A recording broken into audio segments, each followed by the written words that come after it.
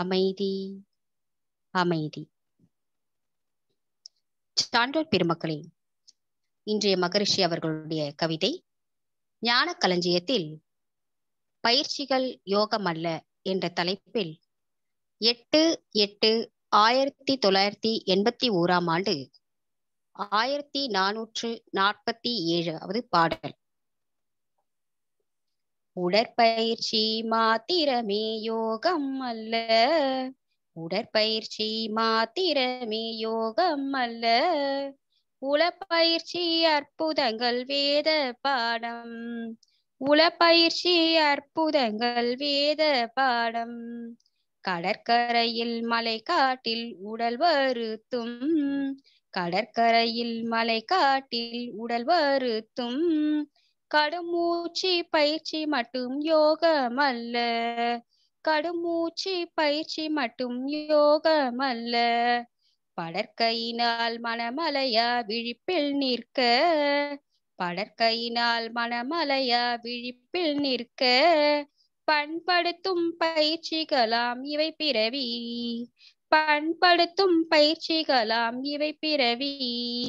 தொடரருக்கும் தூய வினை ஆற்றும் பண்பாம் தொடரருக்கும் தூய வினை ஆற்றும் பண்பாம் துயர் கலைந்து நிறைவளிக்கும் வாழ்வே யோகம். துயர் கலைந்து நிறைவளிக்கும் வாழ்வே யோகம். வாழ்வே யோகம். வாழ்க வளமுடன். அன்பானவர்களே உடற்பயிற்சி மாத்திரம் யோகம் அல்ல உளப்பயிற்சியாகிய அகத்தவம் மற்றும் அகத்தாய்வு பயிற்சிகளை செய்து மன தூய்மை மற்றும் வினை தூய்மை நாம் அடைகின்றோம். மேலும் நாம் ஆசான் அருட்தந்தை அவர்கள் நமக்கு வழங்கிய எளிய முறை உடற்பயிற்சியின் மூலம் நம் விலங்கின பதிவுகளை போக்கிக் கொள்கின்றோம். முன்பெல்லாம் வேத காலத்தில் கடற்கரைக்கும் மலைக்காட்டிற்கும் சென்று தன் உடலை வருத்தி கடும் மூச்சு பயிற்சிகளை செய்தார்கள். ஆனால் நாம் ஆசான் அருட்தந்தை அவர்கள் நமக்கு எளிமையான முறையில் எல்லா மனிதர்களும் செய்யக்கூடிய எளிய முறை உடற்பயிற்சியை வடிவமைத்து கொடுத்துள்ளார். அந்த காலத்தில் செய்த மூச்சு பயிற்சிகள் மட்டுமே யோகம் அல்ல. நம் உயிரின் படர்த்தி நிலையான மனமானது அலையாமல் அசைவற்று டெல்டா நிலையிலிருந்து அயரா விழிப்பு நிலையில் இறைநிலையோடு இணைந்து நிற்க நம் பிறவி தொடர் அறுக்கப்படுகிறது. வீடு பேரி என்ற நிலையை நாம் அடைகின்றோம். மேலும் நமது ஆசான் அருட்தந்தை அவர்கள் நமக்கு அளித்த உடற்பயிற்சியின் மூலமாக நம் உடலை நலமாக வைத்திருக்க உதவுகிறது. உடல் நலமாக இருந்தால்தான் நாம் நல்ல செயல்களை செய்து நம்மை நாமே பயன்படுத்தி நமக்கு வரும் துன்பத்தை போக்கிக் கொண்டு வாழ்வில் ஒரு நிறைவும் மன அமைதியும் அடைகின்ற வாழ்க்கையே யோகமாகும். இதுவே இக்கவியின் கருத்தாக அமைகிறது. அந்த வகையிலே எளிய முறை உடற்பயிற்சியில் கண் பயிற்சியை பற்றிய விஞ்ஞானபூர்வமான விளக்கங்களை நமக்கு அளிப்பதற்காக மதிப்பிற்கும் மரியாதைக்கும் உரிய பேராசிரியர் அருள்நிதி டாக்டர் ராஜசேகர் ஐயா அவர்கள் ஆழியாரிலிருந்து கண் பயிற்சியின் விஞ்ஞான விளக்கம் என்ற தலைப்பில் நமக்கு நல்ல பல விளக்கங்களை அளிப்பதற்காக நம்மிடம் ஆழியார் ஜூம் இணைப்பின் மூலம் இணைந்துள்ளார்கள். ஐயா அவர்களை பற்றிய ஒரு சிறு அறிமுகம். மதிப்பிற்கும் மரியாதைக்கும் உரிய பேராசிரியர் அருளதி டாக்டர் ராஜசேகர் ஐயா அவர்கள் கடந்த பதினாறு ஆண்டுகளுக்கும் மேலாக தன்னை உலக சமுதாய சேவா சங்கத்திலே இணைத்துக் கொண்டு சிறப்பாக ஆழியாரில் தொண்டாற்றி வருகின்றார்கள். சித்த மருத்துவ துறையிலே பிஎஸ்எம்எஸ் பட்டம் பெற்று ஆழியாரில் சித்த மருத்துவ துறையிலே சிறப்பாக தொண்டாற்றி வருகின்றார்கள். மேலும் ஐயா அவர்கள் இருபது வருடங்களுக்கும் மேலாக சித்த மருத்துவத்தில் பல்வேறு அனுபவங்களை பெற்று இருக்கின்றார்கள் நமது விஷன் கல்வி பிரிவிலே எம்ஏ யோகா முடித்து பாரதியார் பல்கலைக்கழகத்திலே முனைவர் பட்டத்திற்கான ஆராய்ச்சியினை தற்போது செய்து கொண்டு வருகின்றார்கள். பல்வேறு மருத்துவ துறையிலே சர்வதேச மாநாடுகளில் ஐயா அவர்கள் பங்கு பெற்றும் வருகின்றார்கள். இத்தகைய பல்வேறு சிறப்புகளை உடைய ஐயா அவர்களை உங்களின் சார்பிலே வணங்கி வாழ்க வளமுடன் என வாழ்த்தி வரவேற்று கண் பயிற்சியின் விஞ்ஞான விளக்கம் என்ற தலைப்பிலே நமக்கு நல்ல பல விளக்கங்களை அளிக்க வேண்டுமாய் அன்போடு கேட்டுக்கொள்கின்றோம். வாழ்க வளமுடன் ஐயா வாழ்க வளமுடன். வாழ்க வையகம். வாழ்க வையகம் வாழ்க வளமுடன். குரு வாழ்க குருவே துணை. இன்றைய தலைப்பு மகரிஷியின் எளிய முறை உடற்பயிற்சியில் கண் பயிற்சி. நாம் ஏற்கனவே பார்த்துருக்கிறோம் தொடர்ச்சியா பல மாதங்களாக நம்முடைய உடற்பயிற்சிகள்ல ஒன்பது நிலைகளையும் வரிசையா பார்த்துட்டு வர பயிற்சி. இன்றைக்கு கண் பயிற்சி மட்டும் இன்னைக்கு பார்க்க போறோம். அறிவியல் ரீதியாகவும் சரி தத்துவ ரீதியாகவும் சரி. உங்களுக்கு தெரியும் மகரிஷி வந்து கண்களுக்கு எவ்வளவு முக்கியத்துவம் கொடுத்துருக்காங்க. அதனால கண்களுக்கு பயிற்சி தனியாகவே வச்சிருக்காங்க. கண்கள் அப்படிங்கும் போதுங்க நமக்கு தெரியும் உங்களுக்கெல்லாம் இருக்கிற உறுப்புலயே கண் ரொம்ப முக்கியம். ஏன் அப்படின்னு கேட்டீங்கன்னா இப்போ ஒரு கைகால்கள பிரச்சனை ஏற்பட்டா கூட நம்ம எதுவும் அதை சரி பண்ணிக்க முடியும். இல்ல சரி செய்யலினா கூட அதனால வந்து பெரிய பாதிப்புன்னு சொல்ல முடியாது. ஆனா கண் பார்வை குறைபாடாயிருச்சு கண்ணே தெரியல அப்படின்னா அது வாழ்க்கையில நம்ம ரொம்ப நம்ம வாழ்க்கை முழுசும் செலுத்துறது ரொம்ப சிரமமான ஒன்றாக இருக்குது.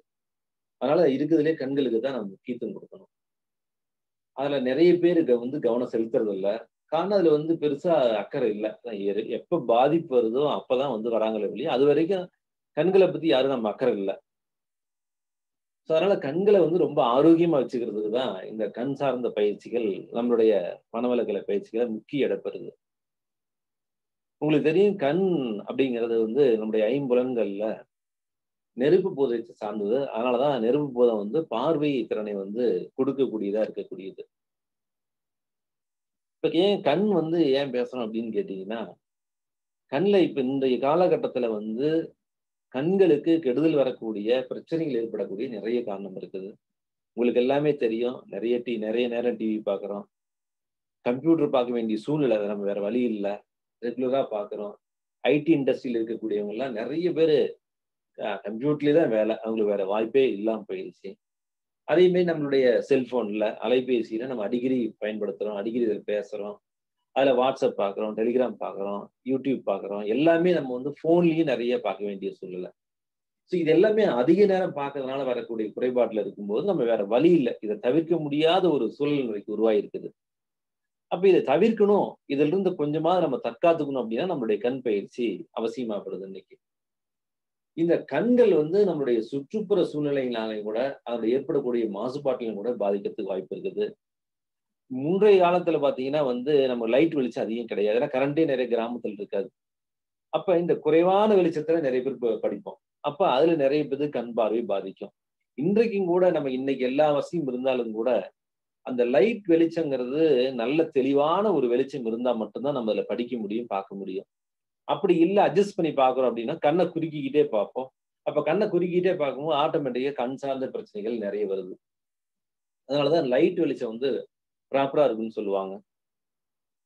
அடுத்து கடைசியாக பார்த்தீங்கன்னா உங்களுக்கு தெரியும் உணவு பழக்க வழக்கம். நம்மளுடைய உணவுகள் எல்லாமே இன்றைக்கு எந்த சூழ்நிலையிலும் உணவு சப்ஜெக்ட்லையும் நிறைய சொல்லி கொடுத்துருப்பாங்க. இந்த ஆரோக்கியமான உணவு இருந்தால் மட்டும்தான் இந்த கண்களுக்கு தேவையான எனர்ஜி கிடைக்கும். விட்டமின் ஏ உட்பட எல்லா விதமான சத்துக்களும் நமக்கு கிடைக்கும்.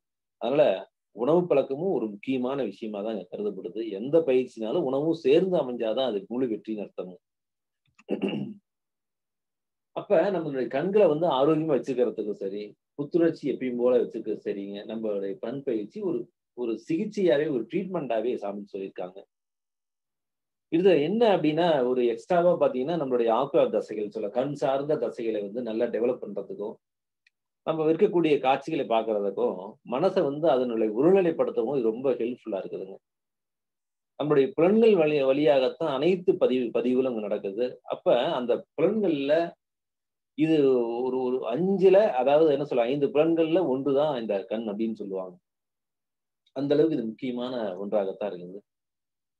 கண் பயிற்சிகளை வந்து வெறுமனே பார்வைக்கு மட்டும் இல்ல அதனுடைய நச்சுத்தன்மை டாக்ஸிசிட்டி வந்து ரிமூவ் பண்றதுக்காகவும் கூட இது பயன்படுது. அதுல இருக்கக்கூடிய கண்ணிலிருந்து வெளிவரக்கூடிய பொருட்கள் சின்ன சின்ன தூசு மாதிரி இருக்கக்கூடிய பொருட்கள் எல்லாமே இதுல இருந்து வெளியாகக்கூடிய ஒரு வாய்ப்பு. அந்த தசைகளுக்கு ஒரு ஒரு முழு எனர்ஜி கொடுக்கக்கூடியதுக்கு மைண்ட் அளவுலையும் நம்மளை வந்து ஒரு ரிலாக்ஸேஷன் பண்றதுக்கு இந்த கண் பயிற்சி வந்து ரொம்ப ஹெல்ப்ஃபுல்லா இருக்குங்க. இப்போ கண் பயிற்சி உங்களுக்கு எல்லாம் தெரியும். இப்போ பயிற்சி பத்தி நம்ம சொல்லிக் கொடுக்க வேண்டியது இல்லை பயிற்சியினுடைய பலன்கள் எப்படி நமக்கு கிடைக்குது? அறிவியல் பூர்வமா. இப்போ அதுக்கு முன்னாடி வந்து கண்ணில் நம்ம வந்து எவ்வளோ தூரம் நம்ம பார்க்க முடியும்? Degrees of human field of vision சொல்லுவாங்க.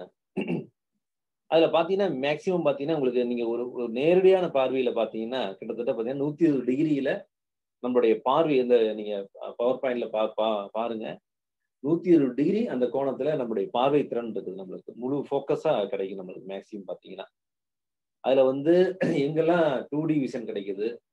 த்ரீ டி விஷன் எங்கே கிடைக்குது? கரெக்டாக எங்கே முப்பது டிகிரி ஃபோக்கஸ் எங்கே கிடைக்குது?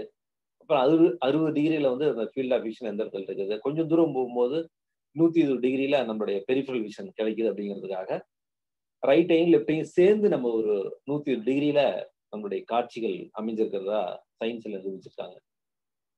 கண்ணுடைய வெளிப்புறம் பாத்தீங்கன்னா பெரும் பெரும்பாகம் இந்த வளைவுல பாத்தீங்கன்னா புறப்பார்வைன்னு சொல்லுவாங்க அதுல. அது மேக்சிமம் பாத்தீங்கன்னா இப்ப நூத்தி இருபதுன்னு சொன்னா கூட நூத்தி முப்பது டிகிரி வரைக்கும் ரெண்டு பக்கமும் தொண்ணூத்தி தொண்ணூத்தி போட்டாலும் கூட நூத்தி முப்பது டிகிரி வரைக்குமே வெளிப்பார்வையை நம்மளுக்கு தருது. நம்ம பெரும்பாலான தொலைநோக்கு தொலைநோக்கு பார்வைன்னு சொல்லுவாங்க. நம்ம எல்லாமே வந்து தொலைநோக்கி மாதிரி ஒரு டெலஸ்கோப் மாதிரி தான் நம்மளுக்கு எல்லாமே. பார்வை எவ்வளவு தூரம்னு கணக்கே போட முடியாது. எவ்வளவு கிலோமீட்டர்னு சொல்ல முடியாது. பட் அதுல எவ்வளவு தூரம் நமக்கு தெளிவா தெரியுது எதுக்கு அதிகமா தெரியுது கம்மியா தெரியுதுங்கிறது பிரச்சனை இல்லை. நம்முடைய பார்வை எல்லாமே தொலைநோக்கு பார்வை நம்மளுடைய லென்ஸ் அந்த மாதிரி தான் அமைஞ்சிருக்குது. ஒரு ஒரு தெர்மல் கேமரா மாதிரி தான் உள்ள அமைஞ்சிருக்குன்னு சொல்லுவாங்க.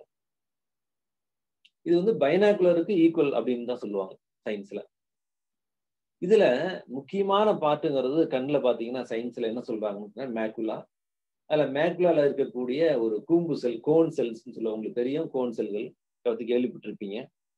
இந்த கூம்பு செல்கள் வந்து எங்க அடர்த்தி ஜாஸ்தியாக இருக்குதோ அங்க வந்து கண்ணு தெளிவா இருக்கிறதுக்கான ஒரு வாய்ப்பு அது அந்த அமைப்புல கண்ணுடைய பிற்பகுதிகளில் லென்ஸுக்கு பின்னாடி அந்த மேக்குலாங்கிற பகுதியில தான் அமைஞ்சிருக்குதுங்க. இதனுடைய ஃபங்க்ஷனை பார்த்தீங்கன்னா ஒரு ஒரு தெளிவான பார்வை ஒரு நேரான பார்வையை வந்து டெவலப் பண்ணோட தான் அதனுடைய செயல்பாடு முக்கியம் அப்படின்னு சொல்றாங்க. இந்த கூம்பு செல்கள் வந்து கண்ணுடைய வெளித்தறையில் இருக்கக்கூடிய ரெண்டு வகையான ஒளிச்சேர்க்கை அணுக்கள்னு சொல்லுவாங்க. அது ரெண்டும் ஒளிச்சேர்க்கைக்கு முக்கியமான ஒண்ணு. அதுல இருக்கக்கூடியதான் அந்த கூம்பு செல்கள்.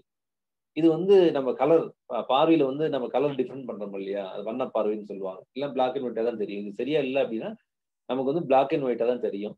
அப்ப வண்ணங்கள் தெரியணும் அப்படின்னா நம்ம இந்த கூம்பு செல்கள்லாம் நல்லா இருந்தா மட்டும்தான் அந்த வண்ண பார்வை நமக்கு கிடைக்குங்க அடுத்ததாக நம்ம கை விரல்களை பார்க்குறோம். அது வந்து அஞ்சு விரல்களுமே இந்த பஞ்சபோதத்தோட சேர்ந்து அமைஞ்சிருக்கும். உங்களுக்கு நல்லா படிச்சிருப்பீங்க மொத்தத்துல.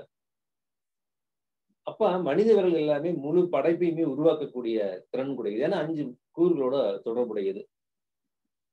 நாம் உடலில் உள்ள உறுப்புகளை செயல்படுத்துறோம். மேலும் இந்த உறுப்புகளுடன் தொடர்புடைய அனைத்து திசுகளையும் உறுப்புகளையும் இது செயல்படுத்துதுன்னு சொல்றாங்க. அது உங்களுக்கு தெரியும். பெருவிரல் வந்து நெருப்பு பூதத்தோடு தொடர்புடையது. சுட்டு விரல் காற்று பூதம். நடுவிரல் ஆகாய பூதம். மோதிர விரல் நிலம் சம்பந்தப்பட்ட பூதத்துல. சுண்டு விரல் நீர் பூதத்தோட சம்பந்தப்பட்டதுன்னு சொல்லுவாங்க. அப்ப அந்த பஞ்சபூதமும் நம்ம கைக்குள்ள அடக்கும் அப்படிங்கும்போது இது நம்ம அடுத்த சப்ஜெக்ட் சொல்லும்போது இது அண்டத்தில் உள்ளதே பிண்டம் பிண்டத்துள்ளே அண்டம்னு சொல்லுவாங்க. வெளியே அதுதான் நம்ம பாடிக்குள்ளேயே அதான் நடக்குதுங்க. இது இந்த அஞ்சு ஃபிங்கருமே பார்த்தீங்கன்னா பஞ்சபூதம் இல்லாம நம்மளுடைய அஞ்சு சக்கராஸ் இப்போ பிங்க் ஃபிங்கர்ல பார்த்தீங்கன்னா சேக்கரல் சக்கரா இருக்கும்.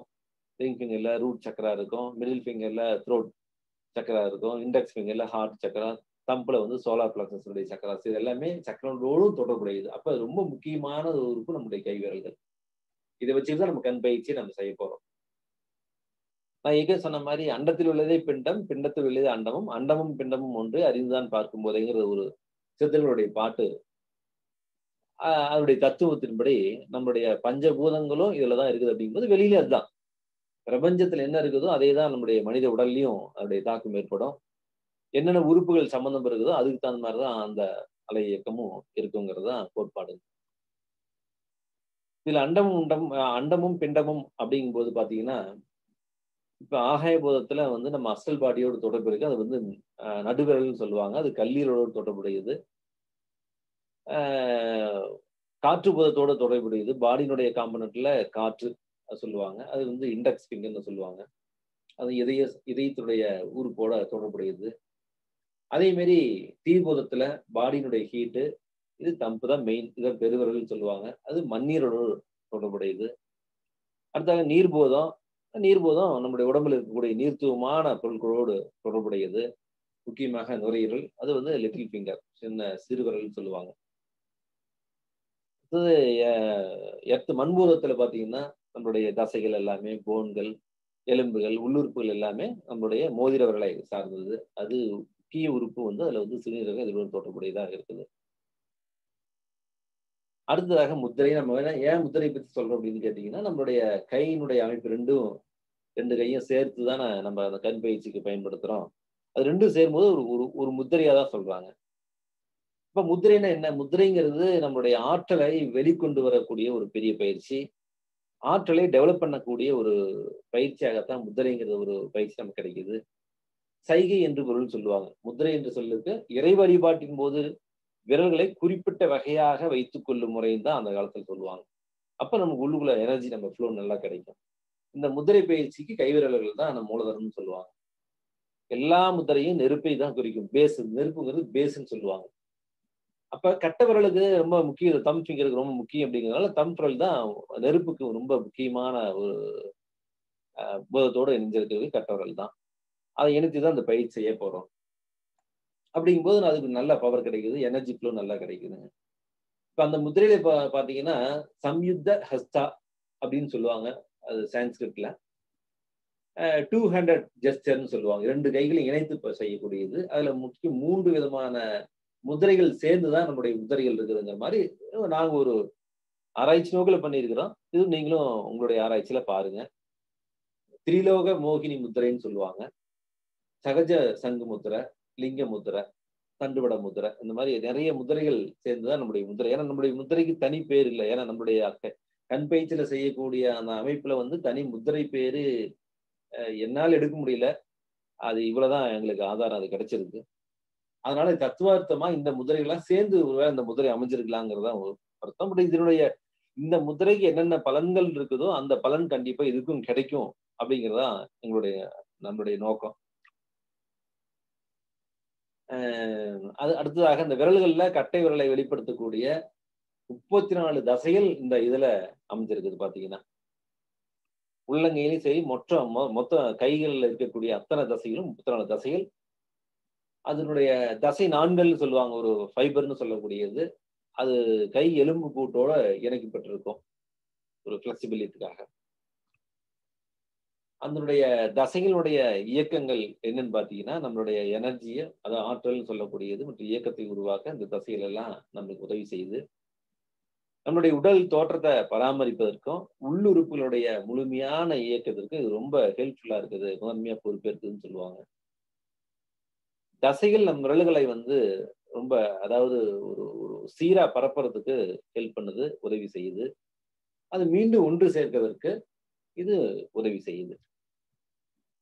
இப்ப கட்டை விரல் வந்து பாத்தீங்கன்னா ரெண்டு எலும்பு மட்டும் தான் இருக்குன்னு சொல்லுவாங்க. சயின்ஸ் பிரகாரம் இத்தனை பாத்தீங்கன்னா கிட்டத்தட்ட நான்கு விதமான தம் மசில்ஸ் மேல இருக்குது. அது கீழே ஒரு நாலு மசில்ஸ் மொத்தம் கிட்டத்தட்ட எட்டு விதமான மசில்கள் அமைந்திருக்குது. இதெல்லாம் சேர்ந்துதான் கூட்டமைப்பா இது இருக்குது. எலும்பு மொத்தம் ரெண்டு எலும்பு அதுல அமைஞ்சிருக்குது. பொதுவா தத்துவத்துல என்ன சொல்லுவாங்கன்னா கட்டைவிரல் மூளையை குறிக்கும். ஸோ மூளையினுடைய மையத்தில் உள்ள பகுதி. அப்ப இந்த கட்டைவிரல்ல சேர்ந்து நம்ம எந்த பயிற்சி செய்யும் போது நம்மளுடைய கான்சன்ட்ரேஷன் அதிகரிக்கிறதுக்கான ஒரு பயிற்சியா இது அமையுதுங்க கண்ணுக்கு மட்டும் இல்ல நம்மளுடைய மனதையும் ஒரு ஒரு கட்டுக்கோப்பை வைக்கிறதுக்கான பயிற்சி தான் அந்த கண் பயிற்சி. அப்ப கட்டவர்கள் வந்து நெருப்பையும் உலகத்துல இருக்கிற அத்தனை உணர்வுகளையும் குறிக்கக்கூடிய ஒரு மிகப்பெரிய ஒரு நம்மளுக்கு ஒரு உறுப்பா நமக்கு கட்டவர்கள் இருக்குது. அடுத்து நம்ம தெரியும் உங்களுக்கு வஜ்ராசனத்துல தான் அந்த பயிற்சி உட்காந்து செய்ய போறோம். இந்த வஜ்ராசனத்தினால நமக்கு என்ன பலன் இருக்குது? அவங்கிறது ஏற்கனவே ஒரு சில பயிற்சிகள்ல கேள்விப்பட்டிருப்பீங்க. இருந்தாலும் கூட இதுல ஒரு சின்னதா நம்ம இதை பத்தி பேசிடலாம். வஜ்ராசனம் ரொம்ப முக்கியமான ஒண்ணு.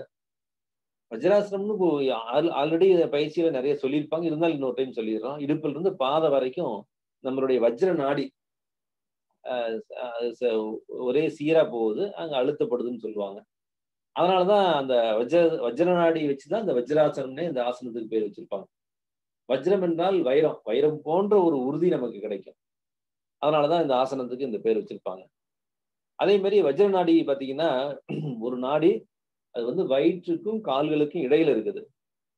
ஸோ இது இது நல்லா வேலை செய்ய டெவ ஆரம்பிக்கும். இந்த மாதிரி பயிற்சியில் உட்காரும் போது வஜ்ராசனில் உட்காரும்போது இது இந்த நம்மளுடைய உடம்புல இது வேலை செய்ய ஆரம்பிக்கிறது.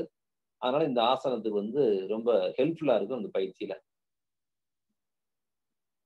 வஜ்ர நாடி பொறுத்தவரைக்கும் என்னன்னு கேட்டிங்கன்னா தத்துவ தத்துவ ரீதியா பார்க்கும்போது பாத்தீங்கன்னா சுழுமுனை நாடிக்குள்ள வந்து நம்மளுடைய வஜ்ர நாடி அமைஞ்சிருக்குது. இந்த படத்தை பார்த்தீங்கன்னா உங்களுக்கு தெரியும். நிறைய நாடிகள் இருக்கும். இடகலை பிங்களை சுழுமுனைன்னு சொல்லுவாங்க. நிறைய சக்கரங்கள் அந்த ஏழு விதமான சக்கரங்கள் இருக்குது. அதுலதான் நாடிகள் சுழன்று வருது. அதுல சுழுமுனை நாடிக்குள்ளதான் இந்த வஜ்ர நாடி இருக்குது. தாமரை தண்டனுடைய நூல் போல முதுகு எலும்பினுடைய அடியில உள்ள மூதா மூலாதாரத்துல குண்டலினி சக்தியினுடைய நடுவுல பொருந்தி நின்று முதுகுத்தண்டினுடைய உட்புறம் வழியாக மேல் நோக்கி இது ஊடுருவி செல்கிறது.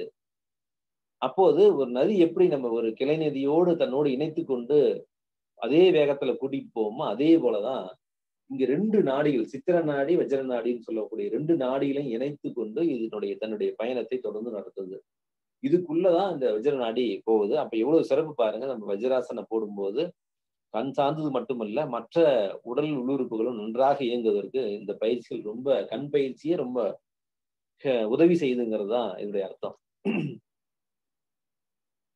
வஜ்ராசனத்துல உட்காரும் போது நமக்கு ஏற்கனவே தெரியும் நம்ம பல தடவை சொல்லியிருப்போம். நம்மளுடைய ஏழு சக்கரங்களும் ஒரே நேர்கோட்டில் இது இணைக்கப்படுவதற்கு ரொம்ப முக்கியமான ஒண்ணு. ஏழு ஆதாரங்களும் ஒரே நேர்கோட்டில் இருக்கும். அப்ப நம்முடைய மனம் வந்து ஒரே நிலைத்த ஒரு சமமான ஒரு என்ன சொல்றது ஒரு கட்டுக்கோப்பான மனம் இங்க இருக்குது. இது அப்ப வந்து என்னன்னா அந்த வஜ்ராசனத்துல உட்காரும் போது எந்தெந்த தசைகள் தோள்பட்டை ஆகட்டும் முதுகு ஆகட்டும் இதெல்லாம் எந்தெந்த தசைகள் வந்து இதுக்கு நமக்கு உதவி செய்யுது அந்த தசைகள்லாம் எப்படி இயங்குதுக்காக ஒரு ஸ்லைடு போட்டிருக்கிறோம். இது ரெண்டு முக்கியமான ஒன்று ரெண்டு தசைகள் முக்கியம். இலியாக்கஸ் மற்றும் சோயாஸ் மசில் சொல்லுவாங்க. ரெண்டு மசில்கள் வந்து நம்ம வஜ்ராசனத்துல முக்கியமா பயன்படுது. நம்ம உட்காரும் போது இடுப்பு வந்து ரொம்ப ஃபிளெக்சிபிலிட்டியா இருக்கும். நெகிழ்வுத்தன்மைன்னு சொல்லுவாங்க. ஃபிளெக்சிபிலிட்டி இருக்கிறதுக்கு இது ரொம்ப ஹெல்ப் பண்ணிட்டு உதவி செய்யுது. வஜ்ராசனம் வந்து நம்ம இலியாகஸ் மற்றும் சோயாஸ் தசைகளை வந்து வலுப்படுத்துறதுக்கு ரொம்ப உதவி செய்யுது. இடுப்பினுடைய பின்புறத்தை இது பலப்படுத்துறதுக்கும் இந்த வஜ்ராசனம் உதவி செய்யுது. அப்ப இந்த வஜ்ராசனத்தில் உட்கார்ந்து செய்யும் போது பயிற்சிகள் நமக்கு நன்றாக அமையுது. அதன் மூலம் நமக்கு நல்ல கண்களுக்கு நல்ல பயனை கொடுக்குது. இந்த பயிற்சிகள்ல பாத்தீங்கன்னா முதல்ல வந்து இந்த ஹரிசாண்டல் வியூன்னு சொல்லுவாங்க. ஹியூமன் ஃபீல்ட் ஆஃப் வியூல வந்து ஃபர்ஸ்ட் ஹரிசாண்டல் பார்வையில கிடைநிலை பார்வைன்னு சொல்லுவாங்க. இந்த கிடைநிலை பார்வையில வந்து பாத்தீங்கன்னா இதில் ஒன் ஃபிஃப்டி டிகிரி வந்து கிடைமட்டமாக இருக்கும். அதில் மூக்கை நோக்கி அறுபது டிகிரி இருக்கும். பக்கத்துக்கு நைன்டி டிகிரி ஸோ மொத்தம் கிடைமட்ட பார்வையில் வந்து ஒன் எயிட்டி டிகிரிக்கு நம்ம கிட்டத்தட்ட அந்த நிலை ஒன்றில் பயிற்சியில் நம்ம பார்க்குறோம். இந்த படத்தை நல்லா பார்த்தீங்கன்னா தெரியுங்க அது கிட்டத்தட்ட பார்த்தீங்கன்னா இந்த நைன் ஓ கிளாக் பொசிஷன்ல இருந்து த்ரீ ஓ கிளாக் பொசிஷன் வரைக்கும் ஒரு அரைவட்ட வடிவில் நம்ம அந்த பயிற்சியை செய்யறோம். ஹரிசாண்டல் லை மூவ்மெண்ட்ஸ்னு சொல்லுவாங்க இது பேருங்க. இதுல பாத்தீங்கன்னா வந்து ஆறு வெளிப்புற கண் தசைகளும் ரெண்டு உள் கண் தசைகளும் இந்த கண் பயிற்சிகள்ல அந்த தசைகள் நல்லா அதனுடைய ஆற்றல்களை டெவலப் பண்ணி கண்களை அந்த பார்வைக்கு ரொம்ப ஹெல்ப் பண்ணி கொடுக்குது மேம் கண் பார்வையை மேம்படுத்துது. முக்கியமான தசைகள் வந்து நம்ம இந்த பயிற்சியில கிடைக்கிறது என்னன்னா எக்ஸ்டென்சிவ் மசில்ஸ் ஆஃப் த ஐன்னு சொல்லுவாங்க. கிட்டத்தட்ட ஆறு தசைகள் இருக்குது ஆறு மசில்ஸ் சொல்லுவாங்க. அது superior oblique and superior rectus வந்து இன்னொன்று medial rectus lateral rectus and inferior inferior அடிமட்ட அடியில் இருக்கிறது. இன்ஃபீரியர் ரெக்டஸ் வந்து இன்ஃபீரியர் உப்ளிக் மொத்தம் ஆறு விதமான தசைகள் நம்மளோட கண்களுக்கு ரொம்ப உதவி செய்யுது. இதுல வந்து முதல்ல சுப்பீரியர் உப்ளிக் மசில்ஸுங்கிறதா நம்ம சுழல் வடிவ தசைன்னு சொல்லுவாங்க. இது மூக்கினுடைய பக்கத்துல தான் இது ஆரம்பிக்குது. அதனுடைய வெளிப்புற தசைகளோட கண் அசைவுகளை கட்டுப்படுத்தக்கூடிய வேலையை இந்த சுப்பீரியர் உப்ளிக்ங்கிற தசைகள் தான் செய்யுது. ஸோ அதனுடைய முதல் இரண்டாம் நிலையில மூன்றாம் நிலை நடைவெளியை பத்தி எப்படின்னா ஃபர்ஸ்ட் மூக்கு நோக்கு இருக்கும் அப்புறம் கீழ் நோக்கி பார்க்கும் அப்புறம் மூக்கிலிருந்து விலகி பார்க்கும். இந்த மூன்று நிலைகளையும் இந்த தசைகள் சுப்பீரியர் உப்ளிக் மசில்ஸ் வந்து டெவலப் பண்ணுது. இந்த கண்களை நகர்த்தும் போது கண்ணினுடைய தசையின் இயக்கம் மிகவும் நமக்கு இந்த பயிற்சியில ஒரு ஒரு உதவி செய்யும். கண்ணை வந்து கீழ் கீழ்லையும் அதாவது கீழ் நோக்கி வெளியே நகர்த்த செய்யும் அப்புறம் கண்ணை உள்வாங்கிறதுக்கும் இந்த சுப்பீரியர் உபிலிட்டி மசில்ஸ் வந்து ரொம்ப அதனுடைய வேலையை செய்யுது. அடுத்ததாக சுப்பீரியர் ரெக்டஸ் தசை சுப்பீரியர் ரெக்டஸ் மசில் சொல்லுவாங்க. இது வெளிப்புற தசையில ஒன்று இது வந்து இந்த கிரேனியல் நரம்பு சொல்லுவாங்க. உங்களுக்கு பன்னெண்டு விதமான கிரேனியல் நரம்புல தேர்டு நரம்புன அக்குலோமோட்டார் நரம்புன்னு சொல்லுவாங்க. கிரேனியல் நர்வ்ஸ்ல தேர்ட் நர்வ்ஸ்ன்னு சொல்லுவாங்க.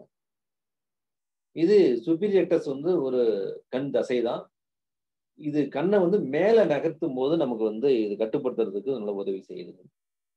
இது வந்து மெயின் பாயிண்ட் இது வந்து என்னன்னா அக்ரோமோட்டர் நரம்புல வந்து அதுக்கு இணையா இது வந்து வேலை செய்யுது. அப்போ அந்த நரம்புடைய செயல்பாடும் நன்றாக இருக்கும். அப்போ கண் பார்வை நம்ம தெளிவு நல்லா கிடைக்கும் நம்மளுக்கு இந்த பயிற்சியில. அதே மாதிரி இன்ஃபீரியர் ஒப்ளிக் மசில்ஸ்ல வந்து பாத்தீங்கன்னா அதனுடைய செயல்கள்லாம் என்னன்னா கண் பறித்தல் அப்படின்னா எக்ஸ்டார்ஷன் சொல்லுவாங்க. எலிவேஷன் அப்புறம் உள்வாங்கிறது அப்டக்ஷன் சொல்லுவது. அதாவது கண்ணன் மேல் நோக்கி வெளிப்புறமாகவும் நகர்த்தணும் இந்த பயிற்சியில. இந்த பயிற்சியில பண்ணும்போது இந்த தசைகள் வந்து இந்த மூன்று செயல்பாட்டுக்கும் உதவி செய்யுதுங்க. இது ரொம்ப மெல்லிய தசையா இருக்கும் குறுகிய தசையா இருக்கும் வெளிப்புற தசையாகவும் இருக்குது இது. சுற்றுப்பாதையுடைய தளத்தினுடைய முன்புற விளிம்புக்கு அருகில இருக்கு. இது மேக்சிலரி எலும்பினுடைய மற்றும் கண்ணினுடைய பின்புற தாழ்வான பக்கவாட்டு மேற்பரப்போடு இது இணைந்திருக்கும் அப்படிங்கிறது தான் இந்த இன்ஃபீரியர் ஒப்ளிக் மசில்ஸ் இந்த இன்ஃபீரியர் ஒப்ளிக் மசில்ஸ்ல பாத்தீங்கன்னா இன்ஃபீரியர் ஒப்ளிக் அவ்வளவுதான். அது இங்கிலீஷ்ல போட்டிருக்குது அவ்வளவுதாங்க இது அடுத்தது இன்ஃபீரியர் ரெக்டஸ் மசில் பத்தி பாக்குறோம் இந்த இன்ஃபீரியர் ரெக்டஸ் மசில்ஸுடைய ஃபங்க்ஷன் எப்படி இருக்குன்னு பாத்தீங்கன்னா இந்த பார்வையை வந்து கீழ் நோக்கி நகர்த்துவதற்கு இது உதவி செய்யுது. இது கண்ணை மூக்கை நோக்கி உள்நோக்கி நகர்த்தி பின் கண்ணின் மேற்புறத்தை மூக்கிலிருந்து அது மூக்கினுடைய பக்கமாக சுழற்றுவதற்கு இந்த கண்ணுடைய இன்ஃபீரியர் ரெக்டஸ் மசில்ஸ் உதவி செய்கிறது. அடுத்ததாக லேட்டரல் ரெக்டஸ் மசில்ஸ் இது கண் பார்வையினுடைய பக்கவாட்டில் உள்ள ஒரு தசை அமைப்பு இது கண்ணுடைய டோட்டல் இயக்கங்களையே கட்டுப்படுத்தக்கூடிய ஒரு தசையாக இருக்கிறது. அடுத்தாக மீரியல் மசில் இதுல இந்த மீரியல் ரெக்டஸ் மசில் என்னன்னா கண்ணை வெளிப்புறமாக நகர்த்துவதற்கு இது மிகப்பெரிய உதவி செய்யுது. முக்கியமா பாத்தீங்கன்னா contraction of the medial rectus pulls the eye towards the நோஸ்பாங்க அதாவது மூக்கை நோக்கி முன்னாடி வெளித்தள்ளுறதுக்கு வெளிப்புறமாக நகர்த்துவதற்கு இந்த மீடியல் ரெக்டஸ் மசில் உதவி செய்கிறது. அடுத்ததாக இந்த எக்ஸ்ட்ரா ஆக்குலர் மசில்ஸ்ல வெளிப்புற தசைகள்ல ரெண்டு ரெண்டு எக்ஸ்ட்ரா ஆக்குலர் மசில்ஸ் அதுல வந்து மீரியல் ரெக்டஸ் அண்ட் லேட்டரல்ஸ் சொல்லுவாங்க. இது ரெண்டும் இணைஞ்சுதான் இந்த ஹெரிசாண்டல் கிடைமட்ட பார்வையை வந்து நமக்கு வந்து கொடுக்குது. இணைந்து தான் செய்யுது இதுல. அப்ப இணைந்து செய்யும்போது நம்மளுடைய கண் பார்வைக்கு ஒரு பெரிய ஒளி கிடைக்கிறதுக்கான வாய்ப்பு இதுல கிடைக்குது இந்த பயிற்சியில. இப்ப இந்த நிலையில கண் பயிற்சியில அதாவது சுருங்குதல் ஒண்ணு தளர்வுகள் ஒண்ணு அதாவது இதுல வந்து contraction relaxation contraction of the medial rectus அது ஒரு தசை. Relaxation of the lateral rectus அது ஒரு தசை. இந்த இரண்டும் சேர்ந்து தான் இந்த நிலைகள்ல நம்மளுக்கு கண் பயிற்சியில உதவி செய்யுது. இப்போ இந்த படத்துல பாத் பார்த்தீங்கன்னா தெரியும். சீனா கான்ட்ராக்ஷன் ஆர்னா ரிலாக்ஸேஷன் ரெண்டு ஐலையும் எப்படி இது வேலை செய்யுதுன்னு பாருங்க இந்த பயிற்சியில.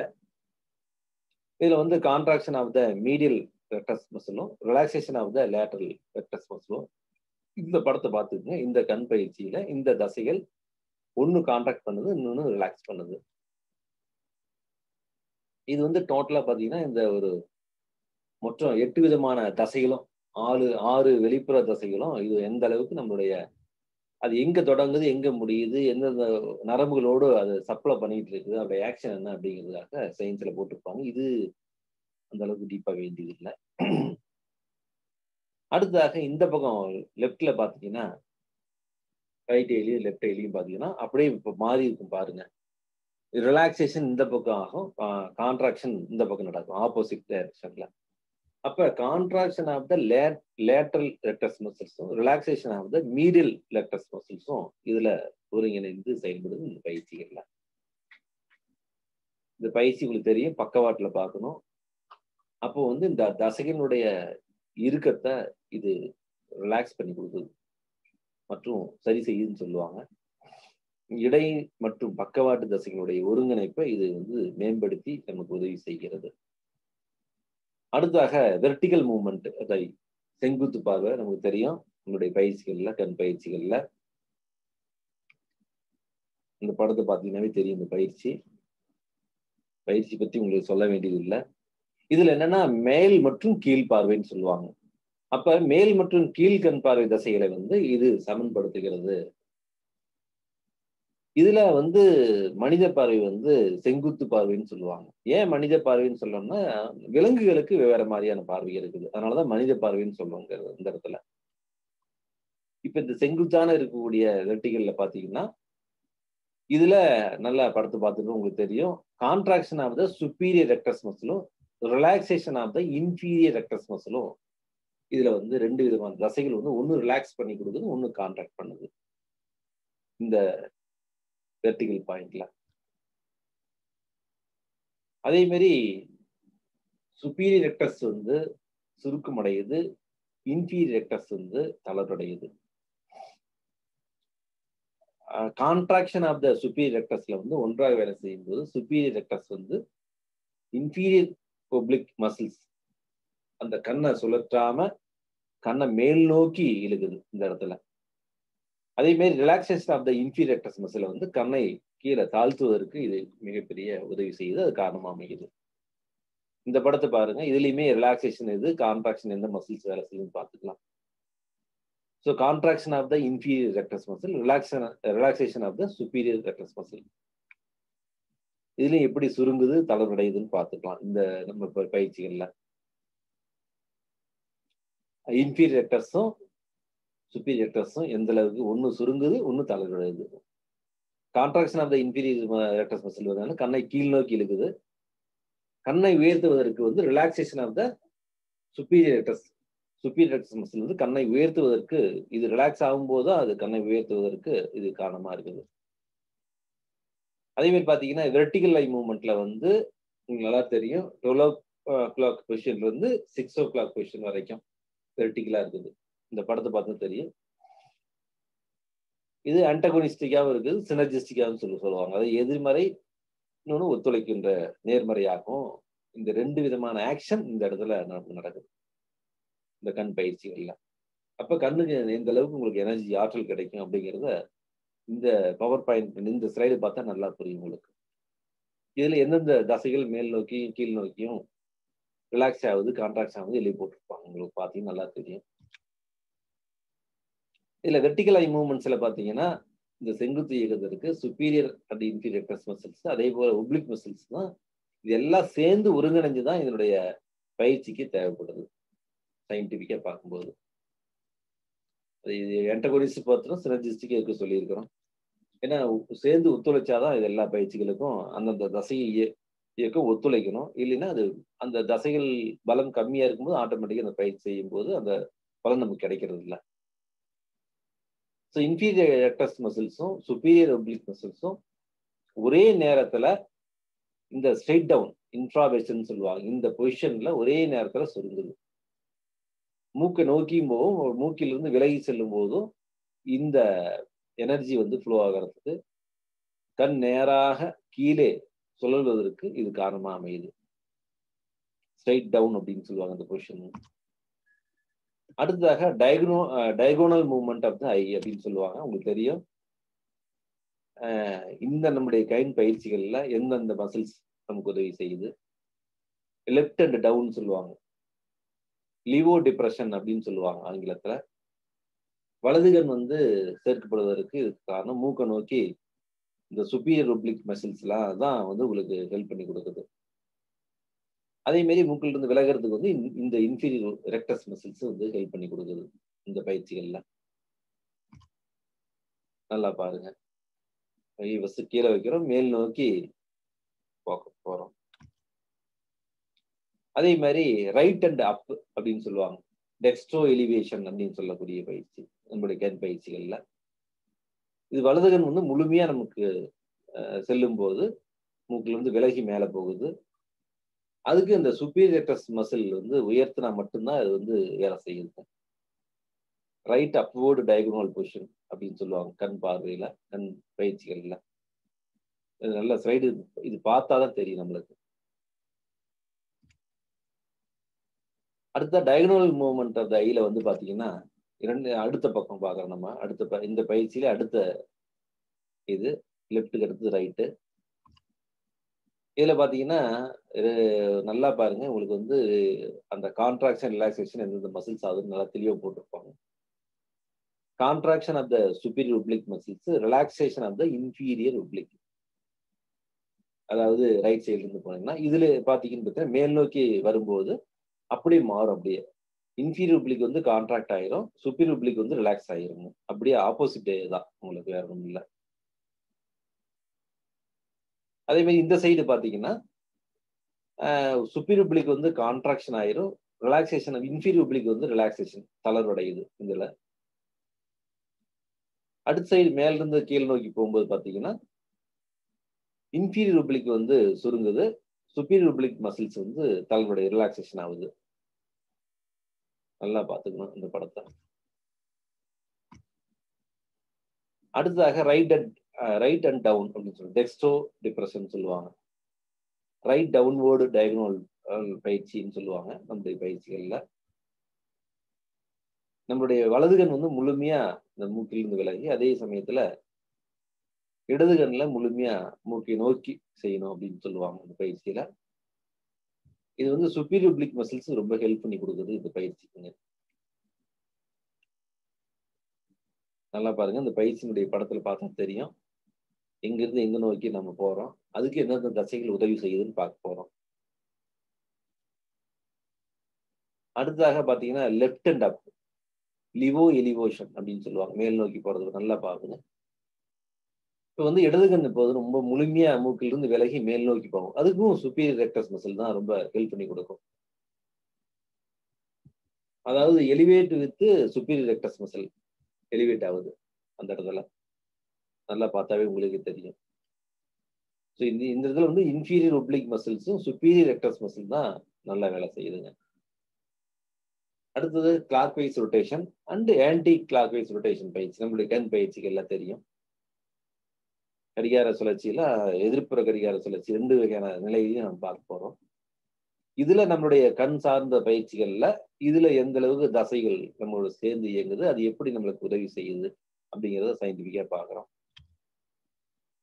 இது உங்களுக்கு தெரியும் நான் சொல்லித்தர தேவையில்லை. இதுல ரைட் ஐ லெஃப்ட் ஐ பார்த்துக்குங்க.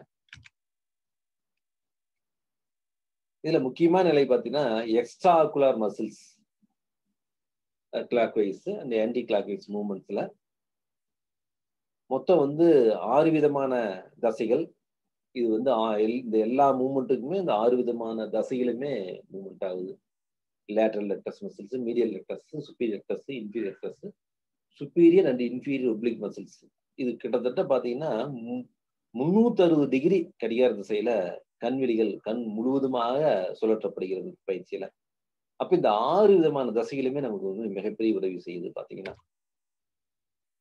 இதுல கண் சுழற்சியில அந்த பார்வை கண்களை சுற்றியுள்ள தசைகளையும் ஒரு ஈக்குவல் பேலன்ஸை ஏற்படுத்துது. கண் பார்வையினுடைய ஒருங்கிணைந்த செயல்பாட்டுக்கு இந்த கண் பயிற்சியினுடைய அந்த கிளாக் வேஸினுடைய ரொட்டேஷன் பயிற்சி நமக்கு ரொம்ப உதவி செய்யுது. அடுத்ததாக நம்முடைய கண் பயிற்சியில கடைசி பயிற்சி. கிட்டத்துல இருந்து தூரமா கொண்டு போறோம். அப்புறம் தூரத்துல இருந்து பக்கமா நேரா ஸ்ட்ரெயிட் லைனா கொண்டு போறோம்.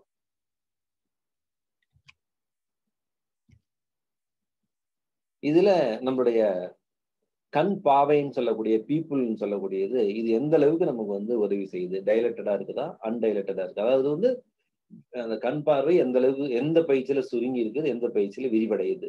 ஸோ அதனுடைய பலன் எப்படி நமக்கு கிடைக்குது? அப்ப நம்ம தூரம் பார்க்கும்போது நல்லா பாருங்க. நம்ம கண்டிப்பா வந்து தூர பார்வையில வந்து பாத்தீங்கன்னா நமக்கு வந்து அண்டை டைலட் ஆகாது மேக்சிமம் பாத்தீங்கன்னா. ரைட் ஐயும் பார்த்துக்கணும் லெஃப்ட் ஐலையும் பார்த்துக்கணும் ஸோ பக்கமாக வரும்போது தான் வந்து நமக்கு வந்து டைலெக்ட் ஆகும் உங்களுக்கு.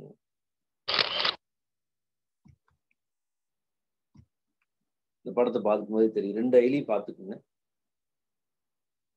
ஸோ இதுல முக்கியமான வந்து என்னன்னா ரெண்டு விதமான தசைகள். ஒன்று வந்து ஐரிஸ் மசில் சொல்லுவாங்க இன்னொன்னு சர்க்குலர் சிலியாரிஸ் மசில் சொல்லுவாங்க. ரெண்டு மசில்ஸும் வந்து கிடைமட்ட பிரிவுல ரெண்டு தசைகளும் நம்மளுக்கு ரொம்ப ஹெல்ப்ஃபுல்லி கொடுக்கும் இந்த பயிற்சிகள்ல.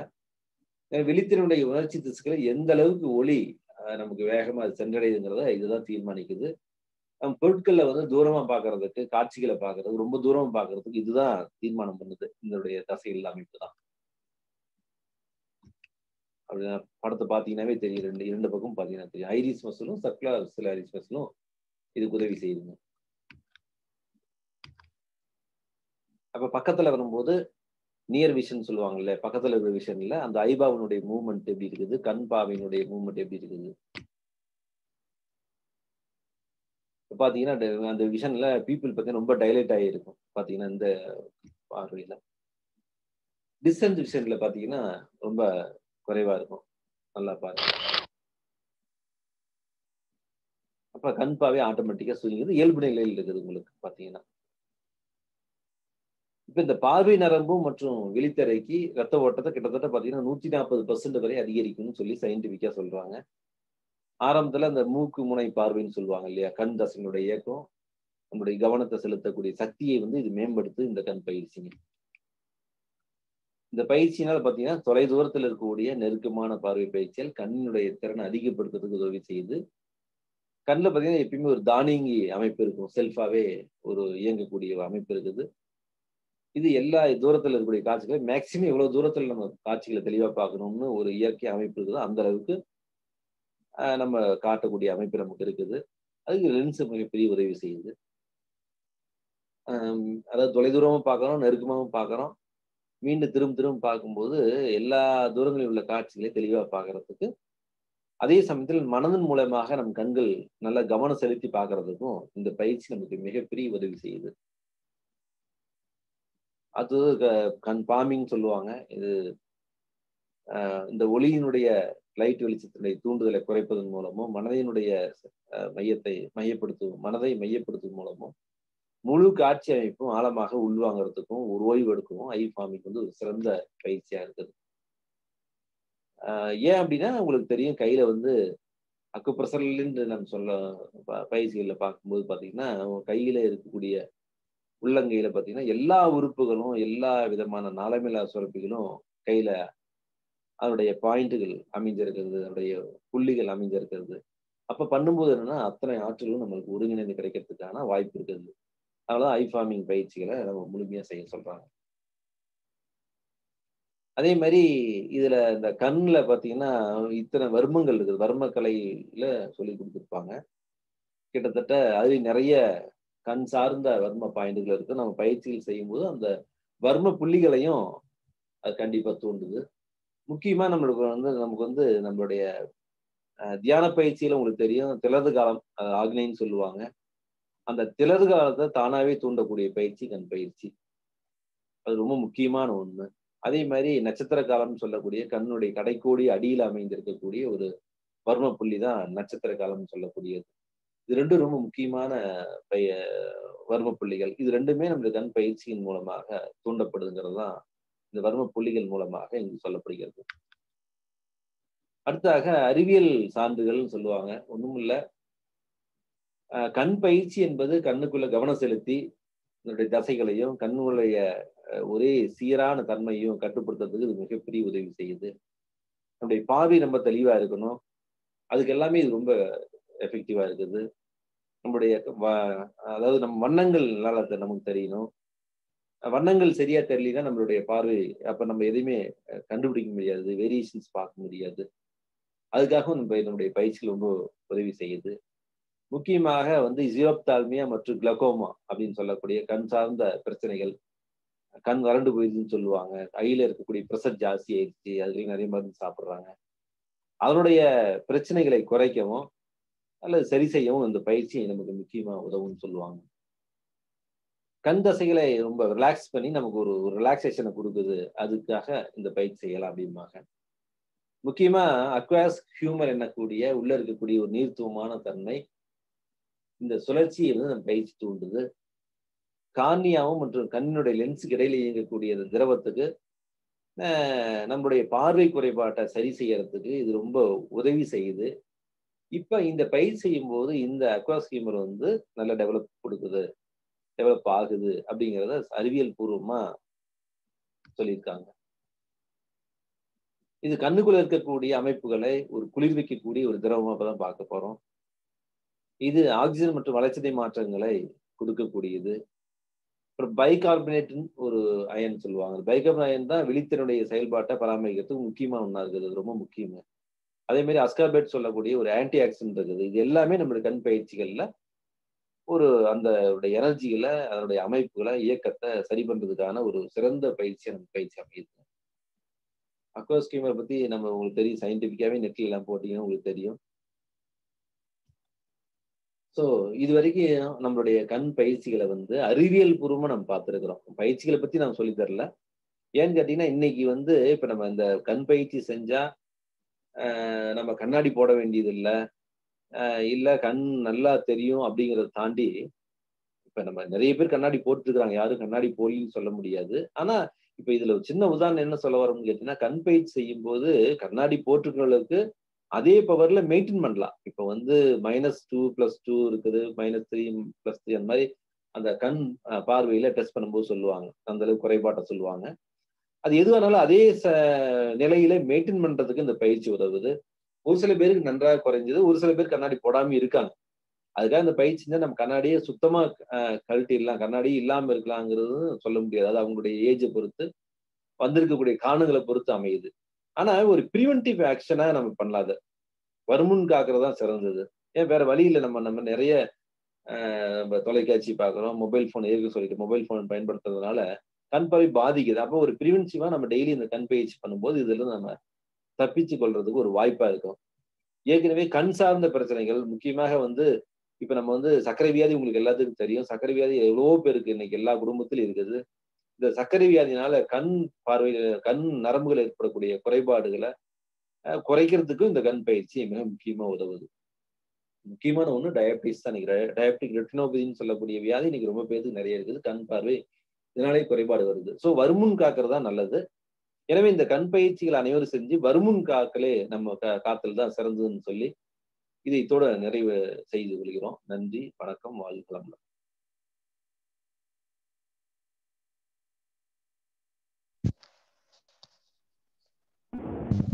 வளமுடன். ஐயா வாழ்க வளம்.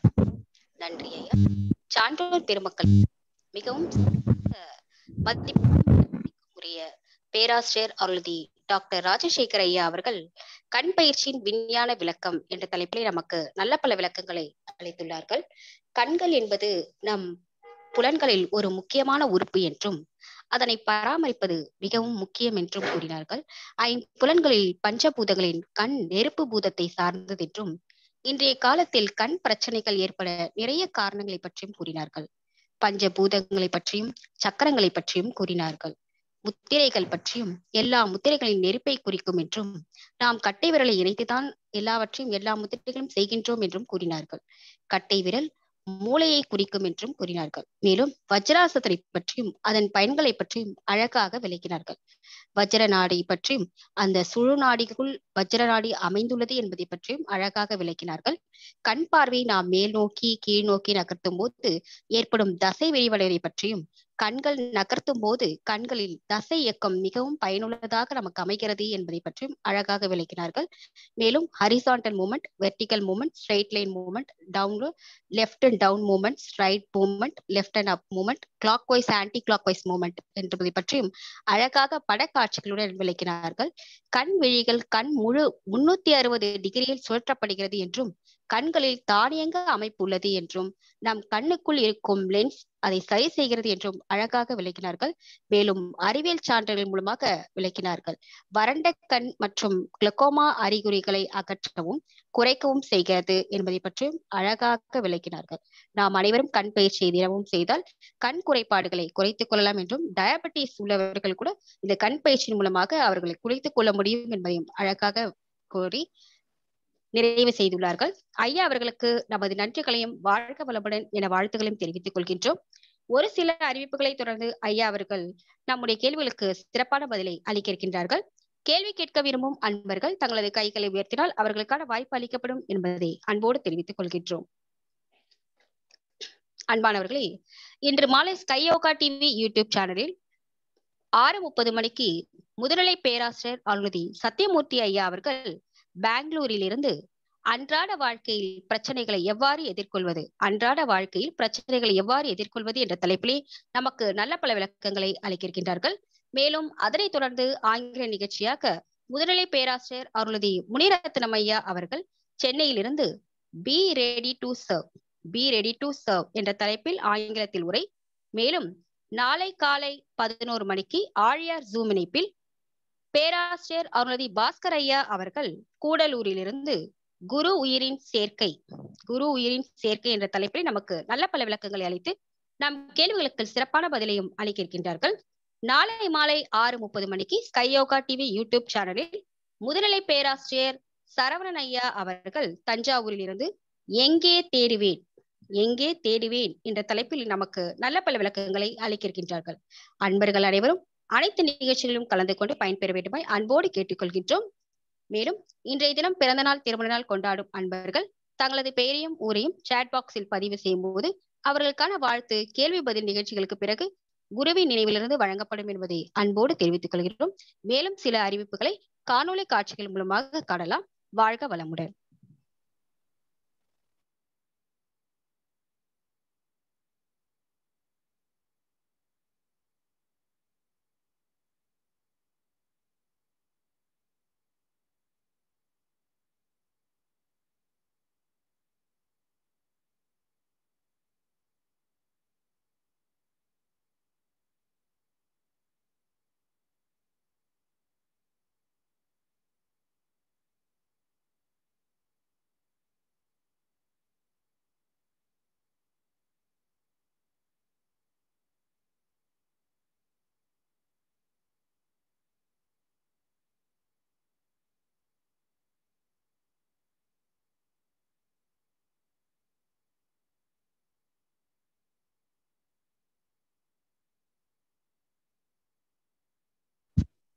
வாழ்க வளமுடன். அன்பானவர்களே நேற்றைய தினம் நிறைய அன்பர்கள் குரு காணிக்கை வழங்கி மகிழ்ந்திருக்கின்றார்கள். இன்னும் நிறைய அன்பர்கள் குரு காணிக்கை வழங்கியும் வருகின்றார்கள். அனைத்து அன்பர்களுக்கும் நன்றிகளும் வாழ்க வளமுடன் வாழ்த்துக்களையும் குருவின் நினைவிலிருந்து வாழ்த்து மகிழ்கின்றோம். தாங்கள் அளிக்கும் குரு காணிக்கைக்கு இந்திய வருமான வரித்துறையின் ஏடிஜியின் படி வருமான வரி விலக்கு உண்டு என்பதையும் அன்போடு தெரிவித்துக் கொண்டு தற்போது ஐயா அவர்கள் நம்முடைய கேள்விகளுக்கு சிறப்பான பதிலை அளிக்கின்றார்கள் கேள்வி கேட்க விரும்பும் அன்பர்கள் தங்களுடைய பெயரையும் ஊரையும் தெரிவித்து தங்களது கைபேசியை தாங்களே அட்மிட் செய்து கொண்டு கேள்விகளை மட்டும் சுருக்கமாக கேட்க வேண்டி கேட்டுக்கொள்கின்றோம். வாழ்க வளமுடன். முதலாவது அன்பராக சொல்லுங்கய்யா. உங்களை அட்மிட் செய்து கொள்ளுங்களம்மா. வாழ்க வளமுடங்க. சொல்லுங்கம்மா. வாழ்க வளமுடங்க. நாங்க ஆத்தூர் மனவள கலையில இருந்து பேரு விஜயகுமாரி அஜேந்திரன் பேசுறேங்க ஐயா. இந்த க- இந்த கண் பயிற்சி நான் உடற்பயிற்சி செஞ்சுட்டு தான் இருக்கிறேன். நானும் எங்க ஹஸ்பண்டும் சேர்ந்து செஞ்சுட்டு தான் இருக்கிறோம். சரிங்கம்மா. இந்த கண் பயிற்சி செய்யும் போது இந்த கண்ணாடி போட்டுட்டு இருக்கிறதெல்லாம் கொஞ்சம் கொஞ்சம்னா குறைச்சிக்கலாம் ஐயா. கண்டிப்பா குறைக்க முடியும். அதான் அந்த பயிற்சியில் சொன்னோம்ல நல்லா பயிற்சி பண்ணுங்க கொஞ்சம் குறைச்சிட்டு வரலாம். பட் என்ன இருந்தாலும் நான் சொன்ன மாதிரி அந்த நீங்க அடிக்கடி மொபைல் அதிக நேரம் பாக்குறதையும் டிவி அதிக நேரம் பாக்குறதையும் குறைச்சிக்கணும். அதையும் சேர்த்து பண்ணிட்டு வந்தீங்கன்னா நல்லா ஈஸியா குறைக்கலாங்கம்மா ஆஹ் அதுக்குதான் கேட்டேன். இந்த கண்ண இந்த மொபைல் பாக்குறதெல்லாம் குறைச்சா கண்டிப்பா குறைஞ்சிடும் இல்லையா? கண்டிப்பா ஆஹ் சரிங்க சரி. அதுக்கு தான் கேட்டேன் நான் இந்த கண் பயிற்சி செய்ய தான் நாங்க பண்ணிட்டு தான் இருக்கோம். எங்க ஹஸ்பண்ட் சுகர் இருக்கு. அதனாலதான் அதுக்கு விளக்கம் கேட்டேன் நான். கண்ணாடி போறது குறைச்சா அது முழுமையா குறைஞ்சிருமான்னு. கண்டிப்பா குறைக்கலாம். நீங்க முடிஞ்ச அளவுக்கு அவங்க சுகர் பேஷண்ட் இருக்காங்க அப்படின்னா அவங்க ஈவினிங்லயும் கண் பயிற்சியில தனியா பண்ண சொல்லுங்க. தனியா சாயந்தரமும் கண் பயிற்சி மட்டும் தனியா பண்ணலாங்களையா தனியாவே பண்ணலாம். ஒன்றும் தவறு இல்ல. தனியாவே ஈவினிங் டைம்லயும் ஒரு டைம் என்ன ஒரு பத்து நிமிஷம் ஆகும். உட்காந்து செய்யலாம்மா அது வஜ்ராசனத்திலயும் செய்யலாமாங்கய்யா வஜ்ராசனத்திலயும் உட்காந்து செய்யணும்? ஆஹ் ஆமாமா அது வஜ்ராசனம் தான் செய்யணும். அதான் சரின்ட்டு சரி கேட்டேங்க சரிங்க ஆஹ் கண்டிப்பா. நன்றிங்க. ஆஹ் வாழ்க நன்றி. வாழ்க வளமுடன். அடுத்ததாக ராமநாத் ஐயா உங்களை அட்மிட் செய்து கொள்ளுங்கள் ஐயா. வாழ்க வளமுடன். வாழ்க வளமுடன். சொல்லுங்க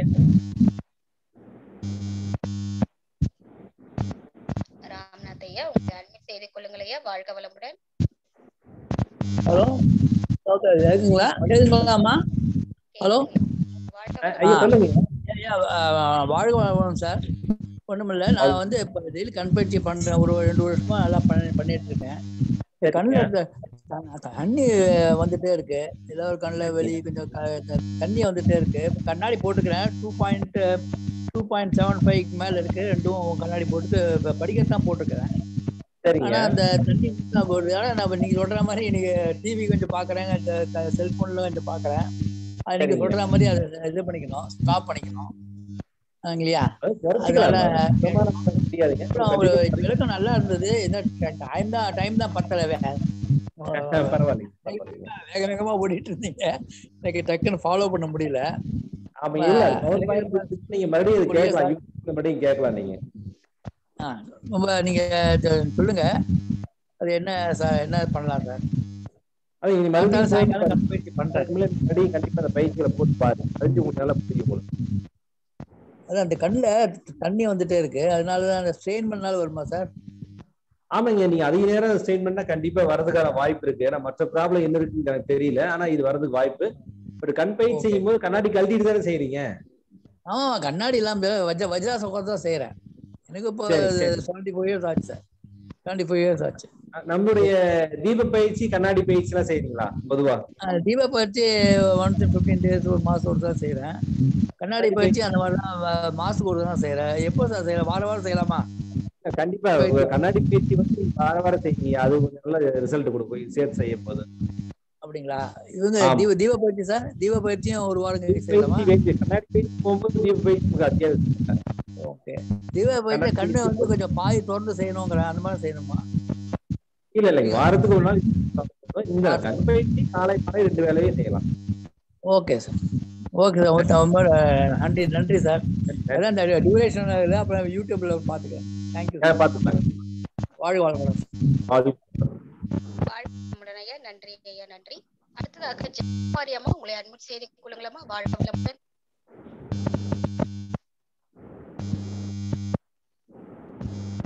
வளமுடன் அம்மா நன்றி அம்மா ஐயா வாழ்க வளமுடன். வாழ்க அம்மா சொல்லுங்கம்மா. ஐயா ஒசூர்ல இருந்து பேசுறேங்க கண் பயிற்சியின் விஞ்ஞான விளக்கம் நல்ல ஒரு சிறப்பான ஒரு கருத்து. கண். பயிற்சி எப்படி செஞ்சா என்ன பலன் சொல்லிட்டு ரொம்ப தெளிவா விளக்குனீங்க.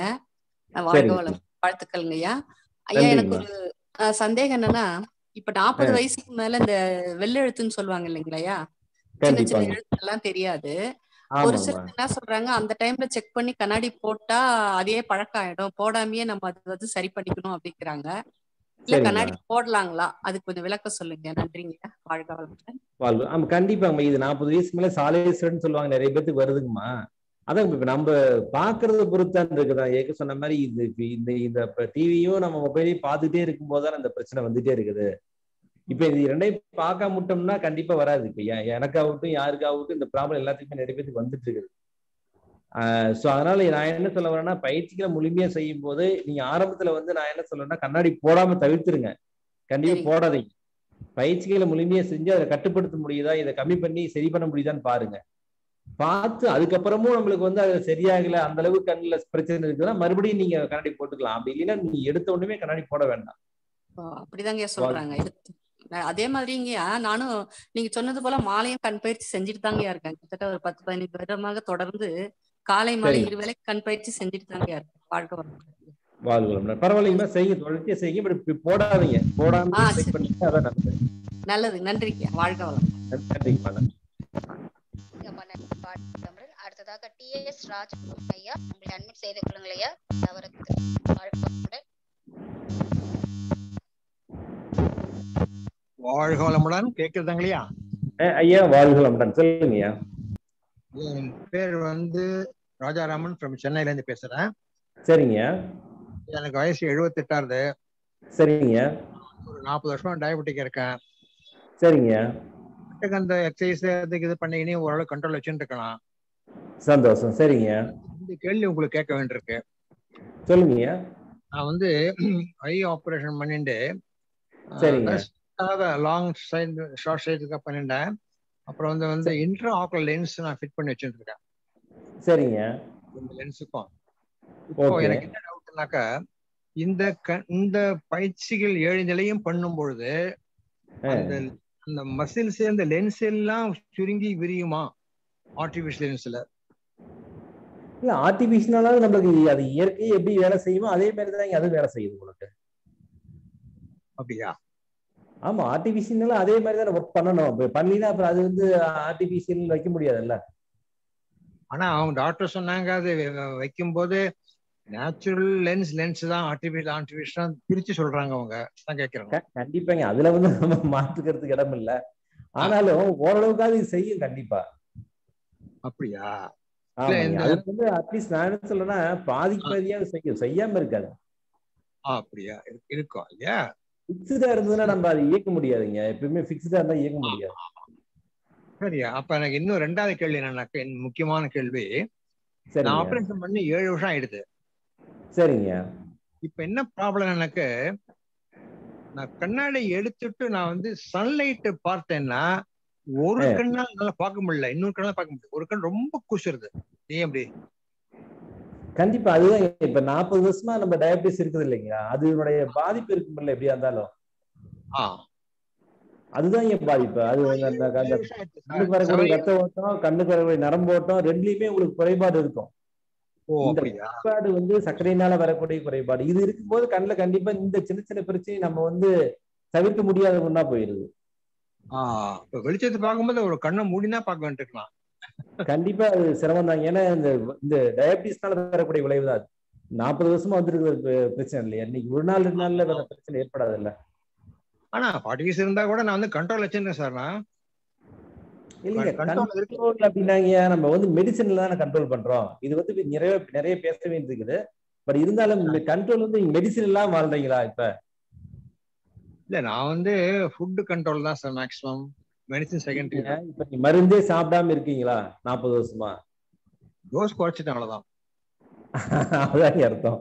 அப்ப அந்த மருந்து தான் போய் வேலை செஞ்சுட்டு இருக்குது.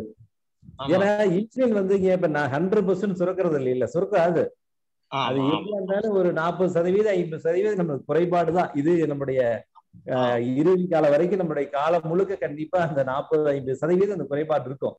ஆமா சார் ஆமா சார். சரி சார். வாழ்க வளமுடன். நன்றி.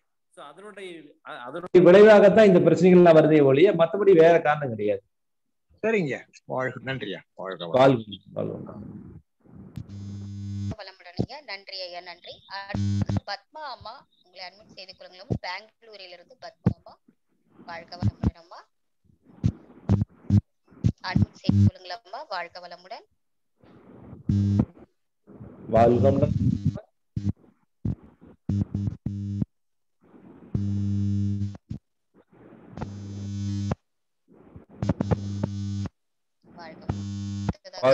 சொல்லுங்கம்மா. உங்களை அட்மிட் செய்து கொள்ளுங்கள். வாழ்க வளமுடன்.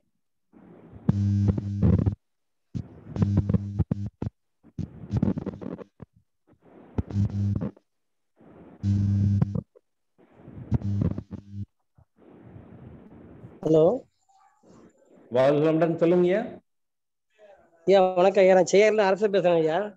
வாழ்கமுடன் சொல்லுங்க ஐயா கண்ணு வந்து சில நேரத்துல இடது கண்ணு வந்து எரியுது எரியுது ஐயா சில நேரத்துல. வெளியே வெயில்ல போயிட்டு இருந்தா. அது வந்து அதிகமான சூடு தாங்க உங்களுக்கு. அது அதிகமான சூட்டுல வரக்கூடிய விளைவு தான். ஆனா இடது கண்ணு மட்டும் சில நேரத்துல எரிச்சலா இருக்கு. சரிங்க. அப்புறம் நான் ஒரு நாலஞ்சு முறை தண்ணி முகத்தை வச்சு கழுவினா வந்து அது சரியாதுங்க ஐயா ஆஹ் அலர்ஜி இது மாதிரி பண்ணீங்க இப்ப இதை பொறுத்த வரைக்கும் இது எல்லாத்துக்கும் நிறைய பேத்துக்கு இருக்கு. இதுக்கு என்ன ஒரே வழி வந்து நம்முடைய. சித்தருடைய மருத்துவங்கள்ல மருத்துவங்கள்ல வந்து இந்த எண்ணெய் தேய்ச்சி குளிக்க சொல்லி சொல்லியிருப்பாங்க. பட். நம்முடைய பயிற்சியில் எடுக்கும்போது சாமஜி அவர்கள் வந்து எண்ணெய் தேய்ச்சி குளிக்க வேண்டாம்னு தான் சொல்லுவாங்க. ஏன்னா தவ பயிற்சியில இருக்கிறவங்களுக்கு. ஆனா மருத்துவமா நீங்க நம்ம பார்க்கும்போது ஆயில் பாத்துங்கிறது எண்ணெய் தேய்ச்சி குளிக்கலாம். முறையா நல்லெண்ணெயில பயன்படுத்தி பண்ணலாம். அப்படி. பண்ணும்போது அன்னைக்கு ஒரு நாள் மட்டும் நம்ம எந்த தவம் மூலம் பண்ணாம எந்த பயிற்சி பண்ணாம ஒரு நாள் ரெஸ்ட் கொடுத்த மாதிரி பண்ணி இந்த ஆயில் பாத்தையும் சேர்த்து பண்ணிக்கிட்டீங்கன்னா அது கண்களுக்கும் ஒரு எஃபெக்ட் கொடுக்குது. இந்த கண் சார்ந்த பிரச்சனைகள் கண்ணில் இருக்கக்கூடிய சூடுகள் பித்தம் எல்லாம் தணிக்குது. உங்களுக்கு.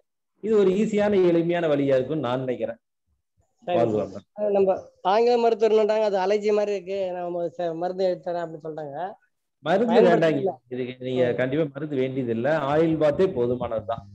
சரிங்க சரிங்க. நன்றிங்க ஐயா. வா வாழ்க வளமுடன். நன்றி ஐயா நன்றி. வாழ்க வளமுடன் அடுத்ததாக பத்மா அம்மா பெங்களூரிலிருந்து உங்களை அட்மிட் செய்து கொள்ளுங்களம்மா வாழ்க வளமுடன்.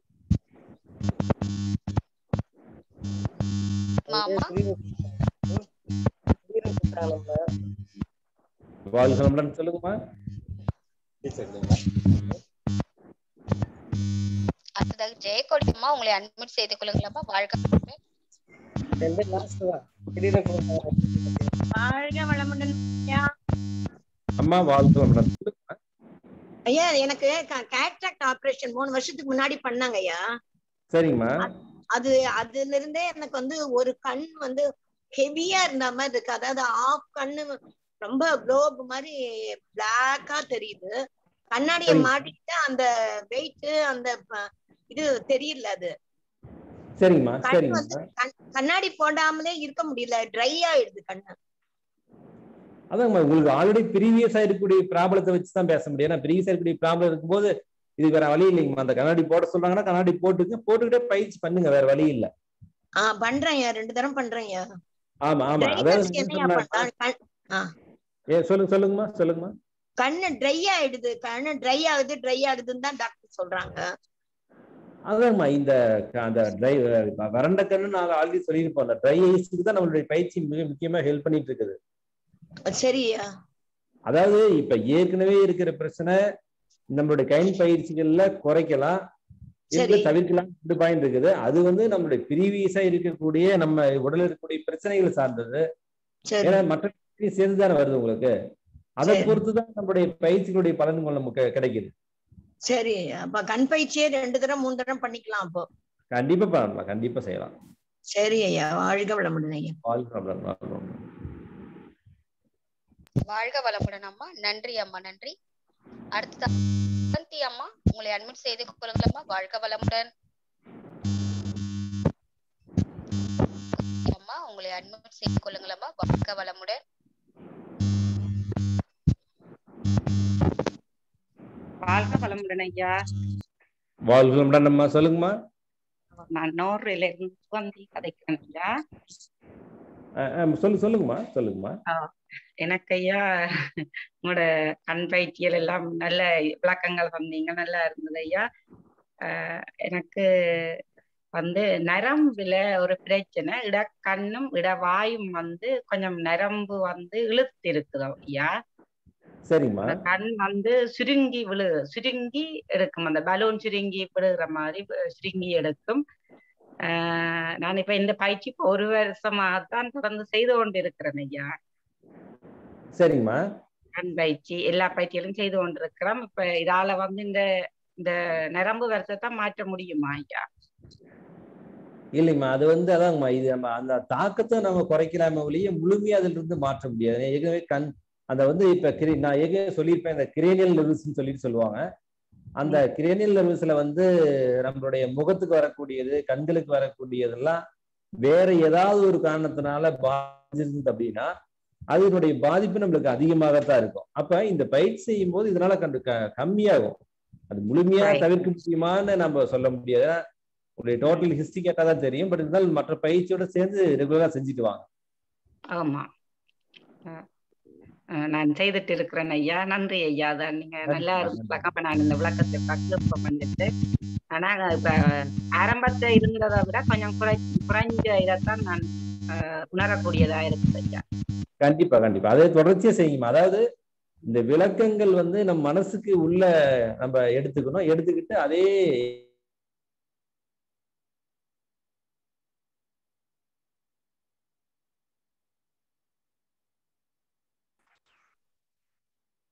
வளமுடன். ஓம் ஐயா ஒரு சொல் ஒரு அஹ், கொஞ்ச நேரம் கேட்கல. நீங்க கடைசியா சொன்னது. அதாம்மா இது இப்ப நம்ம என்ன சொன்னோம்னா இப்ப பயிற்சியினுடைய விளக்கங்கள் மனசுல நீங்க உள்ள வாங்கிட்டு அதே எண்ணத்தோட அந்த பயிற்சியில தொடர்ந்து செய்யும் போது நமக்கு கண்டிப்பா பலன் கிடைக்கும் நம்மளுக்கு. ஏன்னா எண்ணமே செயலாகும் அப்படின்னு ஒரு தத்துவம் சொல்லுவாங்க. நம்ம. என்ன நினைக்கிறோமோ அது நடக்கும்னு சொல்லுவாங்க.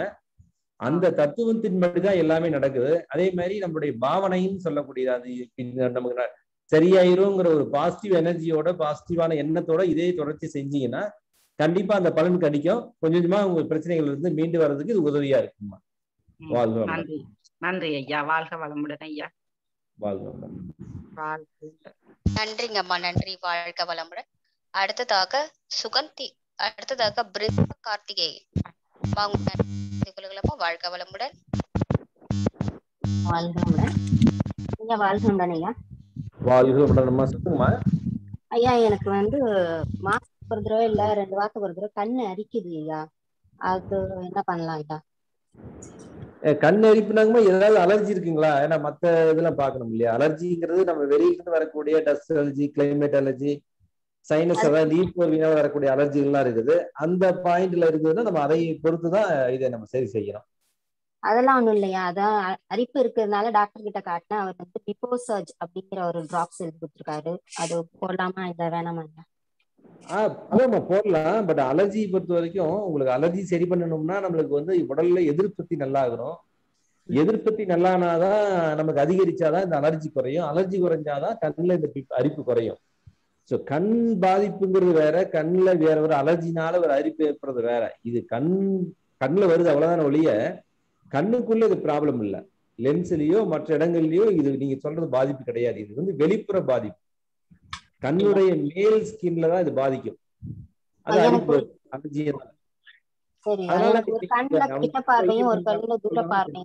கொஞ்சம் ப்ராப்ளம் இருக்குயா? அதனாலயும் வரலாமையா? எதெல்லாம் என்னங்க சொல்றீங்க? புரியல. ஒரு கண் கிட்ட பார்வை இருக்கு. ஒரு கண் தூர தூர பார்வை இருக்கு. அதனால ஏற்படலாமையான்னு இல்லைங்க அதுக்கும் அலர்ஜிக்கும் சம்மந்தம் இல்லைங்கம்மா அப்படி இருந்தா நீங்க அதுக்கு தகுந்த மாதிரி லென்ஸ் போடணும். கண்ணாடி போடணும். அப்படி போட்டாதான் அது ரெண்டும் ஈக்குவல் பேலன்ஸ் பண்ண முடியுமா ஒண்ணு கம்மியா ஒண்ணு அதிகமா இருந்ததுன்னா அது கண் மறுபடி மறுபடி உங்களுக்கு பாதிப்பு கொடுத்துட்டே தான் இருக்குங்கம்மா அப்புறம் கண் பயிற்சி செய்யும் போது கொட்டாய் வருதுயா? அதனால தண்ணி வருது அந்த நேரத்துல. அதனால கொஞ்சம் அத அந்த பயிற்சி செய்யும் போது கொட்டாவின்னு கிடையாது. உங்களுக்கு ஆல்ரெடி உடல் பலகீனம் இருந்ததுன்னா இந்த கண்டிப்பா அந்த கொட்டாவி வரும்.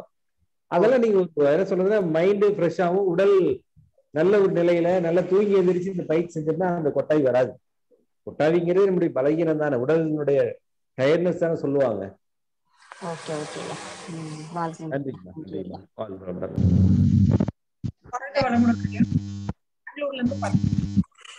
வளமுடன். சொல்லுங்கம்மா. டீஜெனரேஷனுக்கு இது ஹெல்ப்ஃபுல்லா என்னங்கம்மா?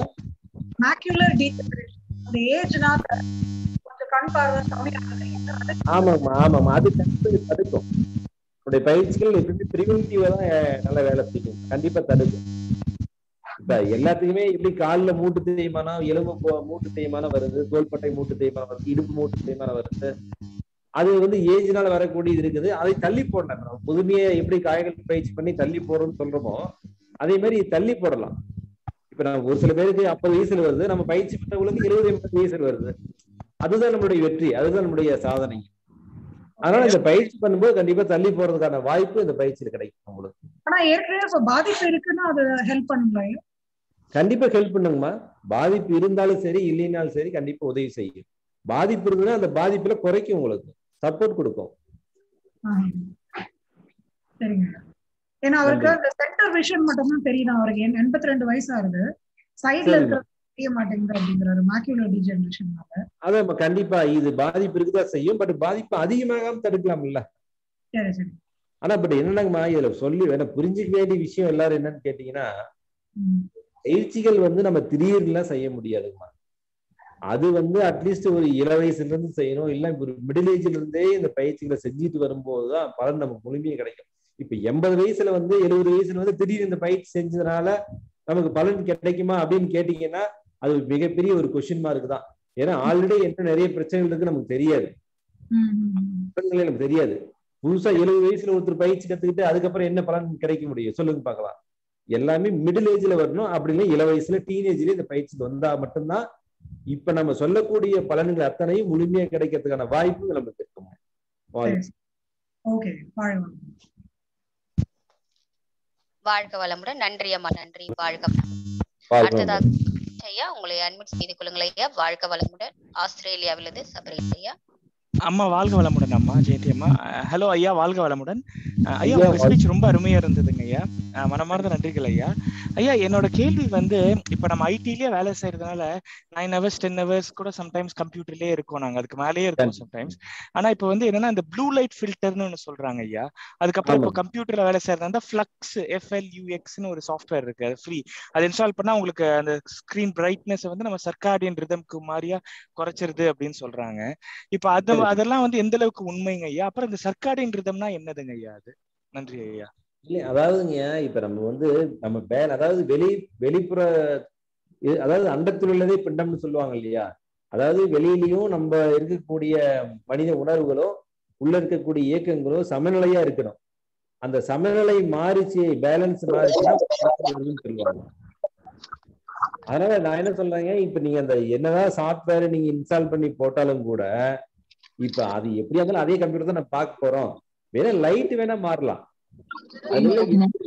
பிம்பங்களோ எப்படி அது மாறும்.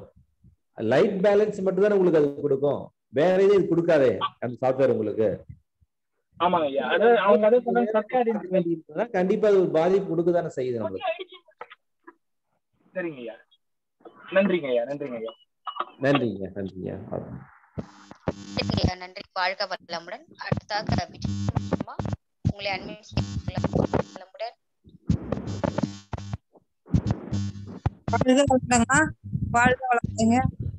வளமுடன். சொல்லுங்கம்மா. நான் ரெண்டாவது தடவை கூப்பிடுறேங்க ஐயா. எங்க அண்ணா ஒருத்தர் கண்ணு ஆபரேஷன் பண்ணிருக்காங்க அது எவ்வளவு நாள்லயா நம்ம பயிற்சி கத்துக்கலாம்? இல்ல இப்ப வயசுங்க?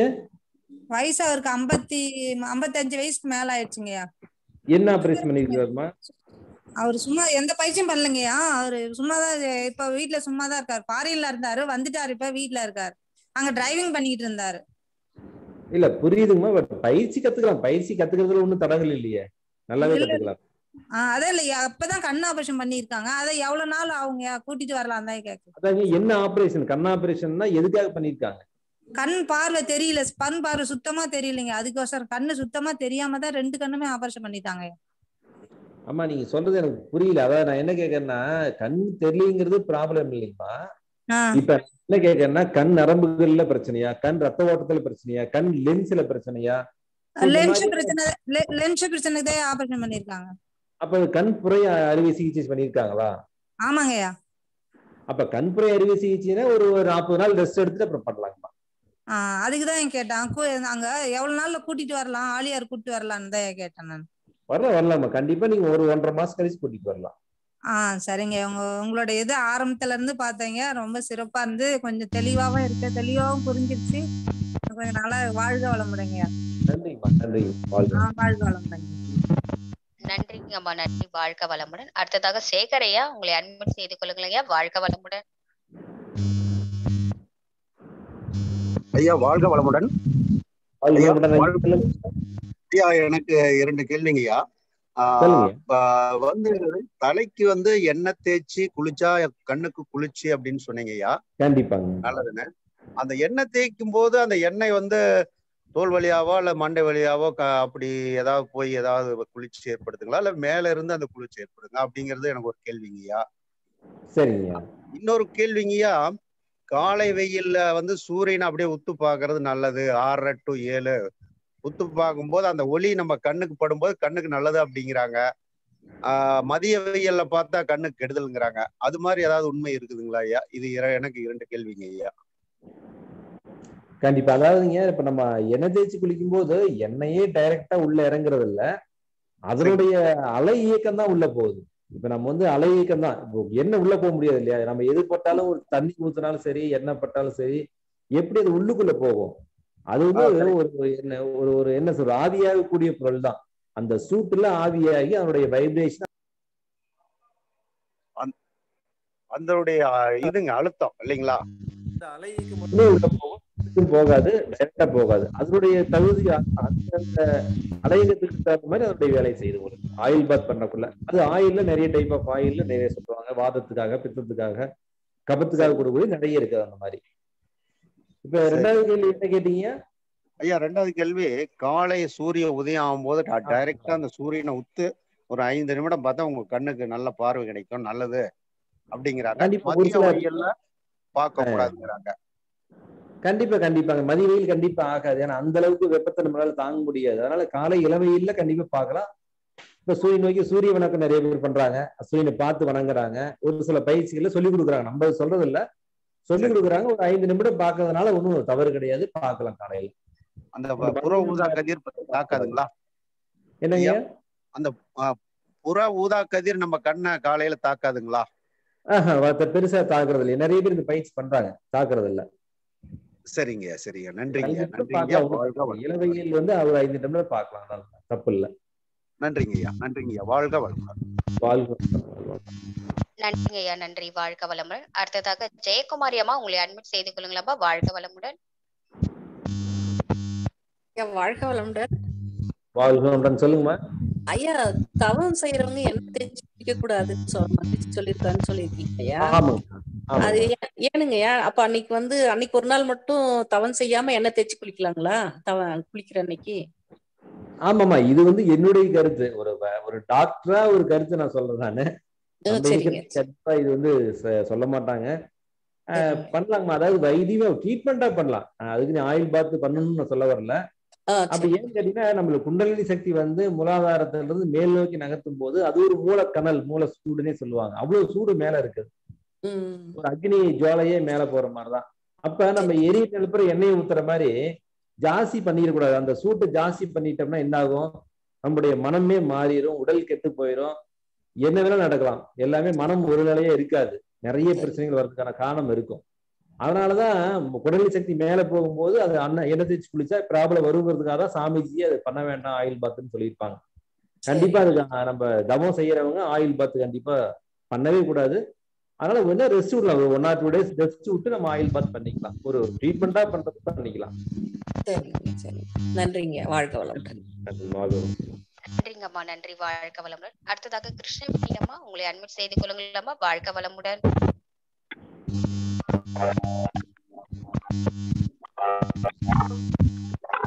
வாழ்க வளமுடன்.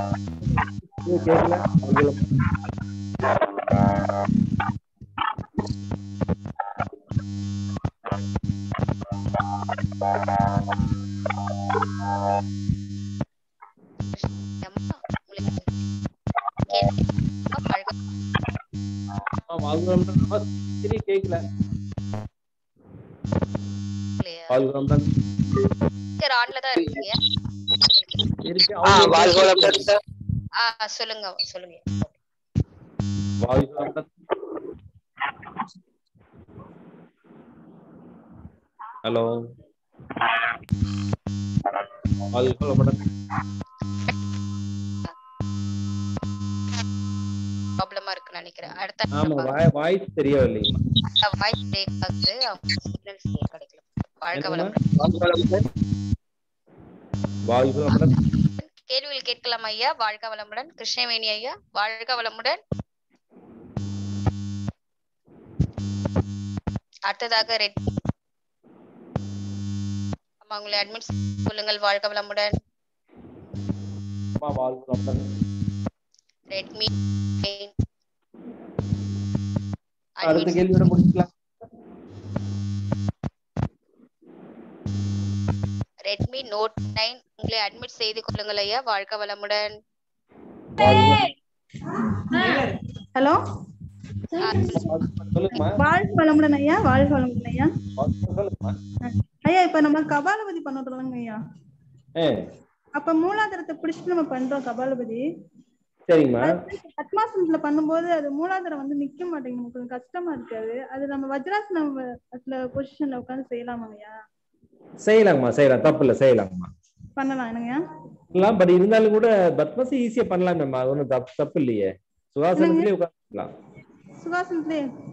அது பயிற்சிகள் செஞ்சு பழக பழக வந்துருங்கம்மா. அது ஒன்றும் தவறு இல்லை பண்ணலாம். சுகாசனத்திலே உட்காந்து செய்யலாம். செய்யலாம். அதான் அந்த அது மூலாதாரம் வந்து நமக்கு அது நிக்க மாட்டேங்குது. பிடிக்கிறது அது ஒரு பாவனை பண்ணிக்கிங்கம்மா போக போக பழகிடும். சரிங்க நன்றி சரிங்க. நன்றி வாழ்க நன்றி வாழ்க வளமுடன். அடுத்ததாக குரு அம்மாள் உங்களை அட்மிட் செய்து கொள்ளுங்கள். முடிச்சுக்கலாமாம்மா டைம் ஆயிடுது. ஆ ஓகேங்க. இன்னும் மூணு பேர். வாழ்க வளமுடன். ஆ, ஆமா வாழ்க வளமுடன். ஐயா ஐயா எண்ணெய் தேய்ச்சி குளிக்கிறது சாமிஜி வந்து அன்னைக்கு வந்து சாந்தி தவம் பண்ணணும்னு சொல்லி இருக்கிறாங்க எண்ணெய் தேய்ச்சி குளிக்கிற காரணத்துக்காக தானங்க ஐயா சாந்தி தவம் பண்ண சொல்லி இருக்கிறாங்க இல்லைம்மா எண்ணெய் தேய்ச்சி குளிக்கிறது வந்து ட்ரீட்மெண்ட் பர்பஸ் அதாவது சிகிச்சையினுடைய நோக்கத்துக்காக ஆயில் பாத் பண்றது ரெகுலரா ஆயில் பாத் பண்ற நோக்கம் வேற நாங்க ட்ரீட்மெண்டா சொல்றதுங்கிறது வேறங்கம்மா பர்பஸ்ல தான் நம்ம வந்து சாந்திதவம் பண்ணிக்கிட்டோம்னா உடல்ல இருக்கக்கூடிய வெப்பமோ வாதப்பித்த கபங்கள் முக்குற்றங்களும் சமப்படும்னு சொல்லுவாங்க. அது ஓகே பட் பிரச்சனைன்னு சொல்லும் போது ஒரு ட்ரீட்மெண்டா பண்ணும்போது நம்ம அதை பயன்படுத்த சொல்றோம் நம்ம. அதான் நாங்க சில சமயங்கள்ல கேக்குறப்ப சொல்றாங்க. வந்து அது வந்து நிறைய பேர் அயல் பார்த்து எடுப்பாங்க. அந்த காரணங்களுக்காகவும் தான் அப்படின்னு சொன்னாங்க. சாதாரணமா வந்து நம்ம சாந்தி தவமே போதுமானதுதான். நமக்கு வந்து ஆ, ஆயில் ஆ, பாத் வந்து தேவையில்லைங்கிறதா நோக்கமுங்க. ஆனா பர்பஸ் இருக்கு ஒரு வியாதி இருக்குது ஒரு ப்ராப்ளம் இருக்குது அப்படிங்கும் போது நம்ம ஒரு இந்த இதை நம்ம இந்த டெக்னிக்கை நம்ம செஞ்சுக்கலாம். சரிங்க. வாழ்க வளமுடன். வாழ்க வளமுடன். வாழ்க வளமுடன். அடுத்ததாக வி கே சுப்பிரமணியன் ஐயா உங்களை அட்மிட் செய்து கொள்ளுங்களேன். வாழ்க வளமுடன். வாழ்க வளமுடன்.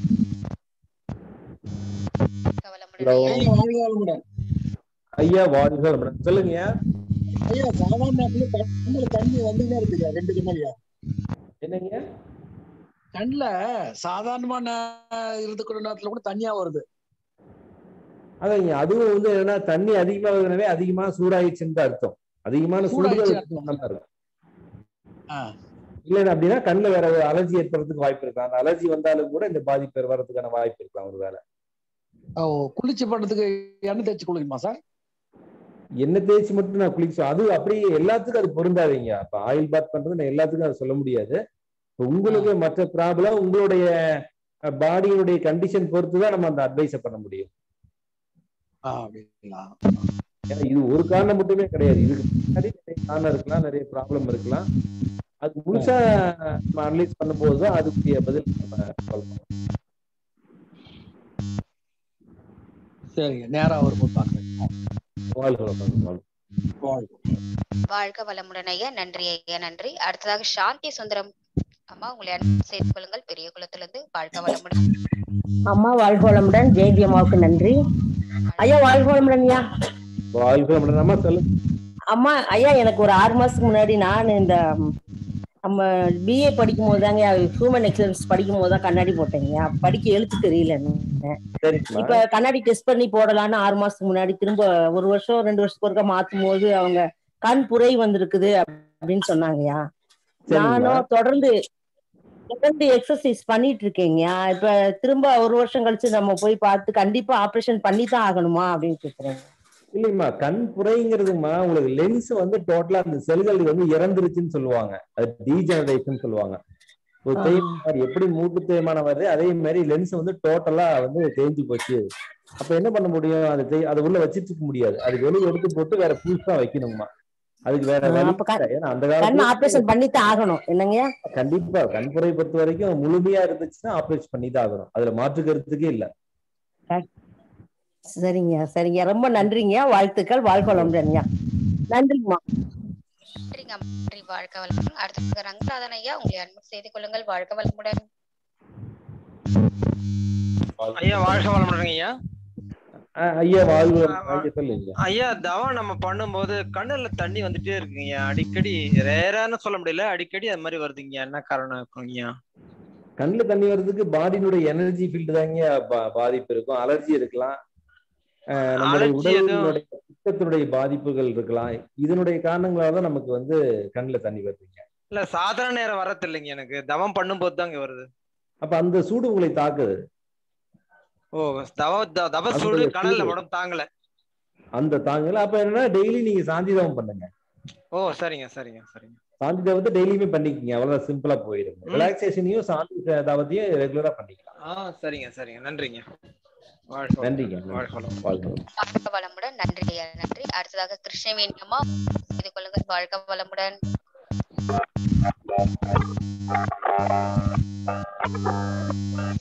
கிருஷ்ணவேணி அம்மா ஒரே இறைச்சலா இருக்கு. நன்றி. வாழ்க வளம் நிறைவு பண்ணிக்கலாமாங்கய்யா? பண்ணிக்கலாங்கம்மா பண்ணிக்கலாம். நன்றி வாழ்க வளமுடன். அன்பான நண்பர்களே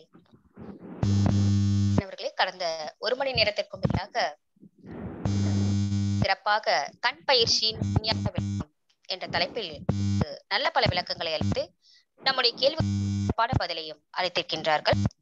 ஐயா அவர்களுக்கு நமது நன்றிகளை வாழ்த்தின் மூலமாக தெரிவித்து மகிழலாம்.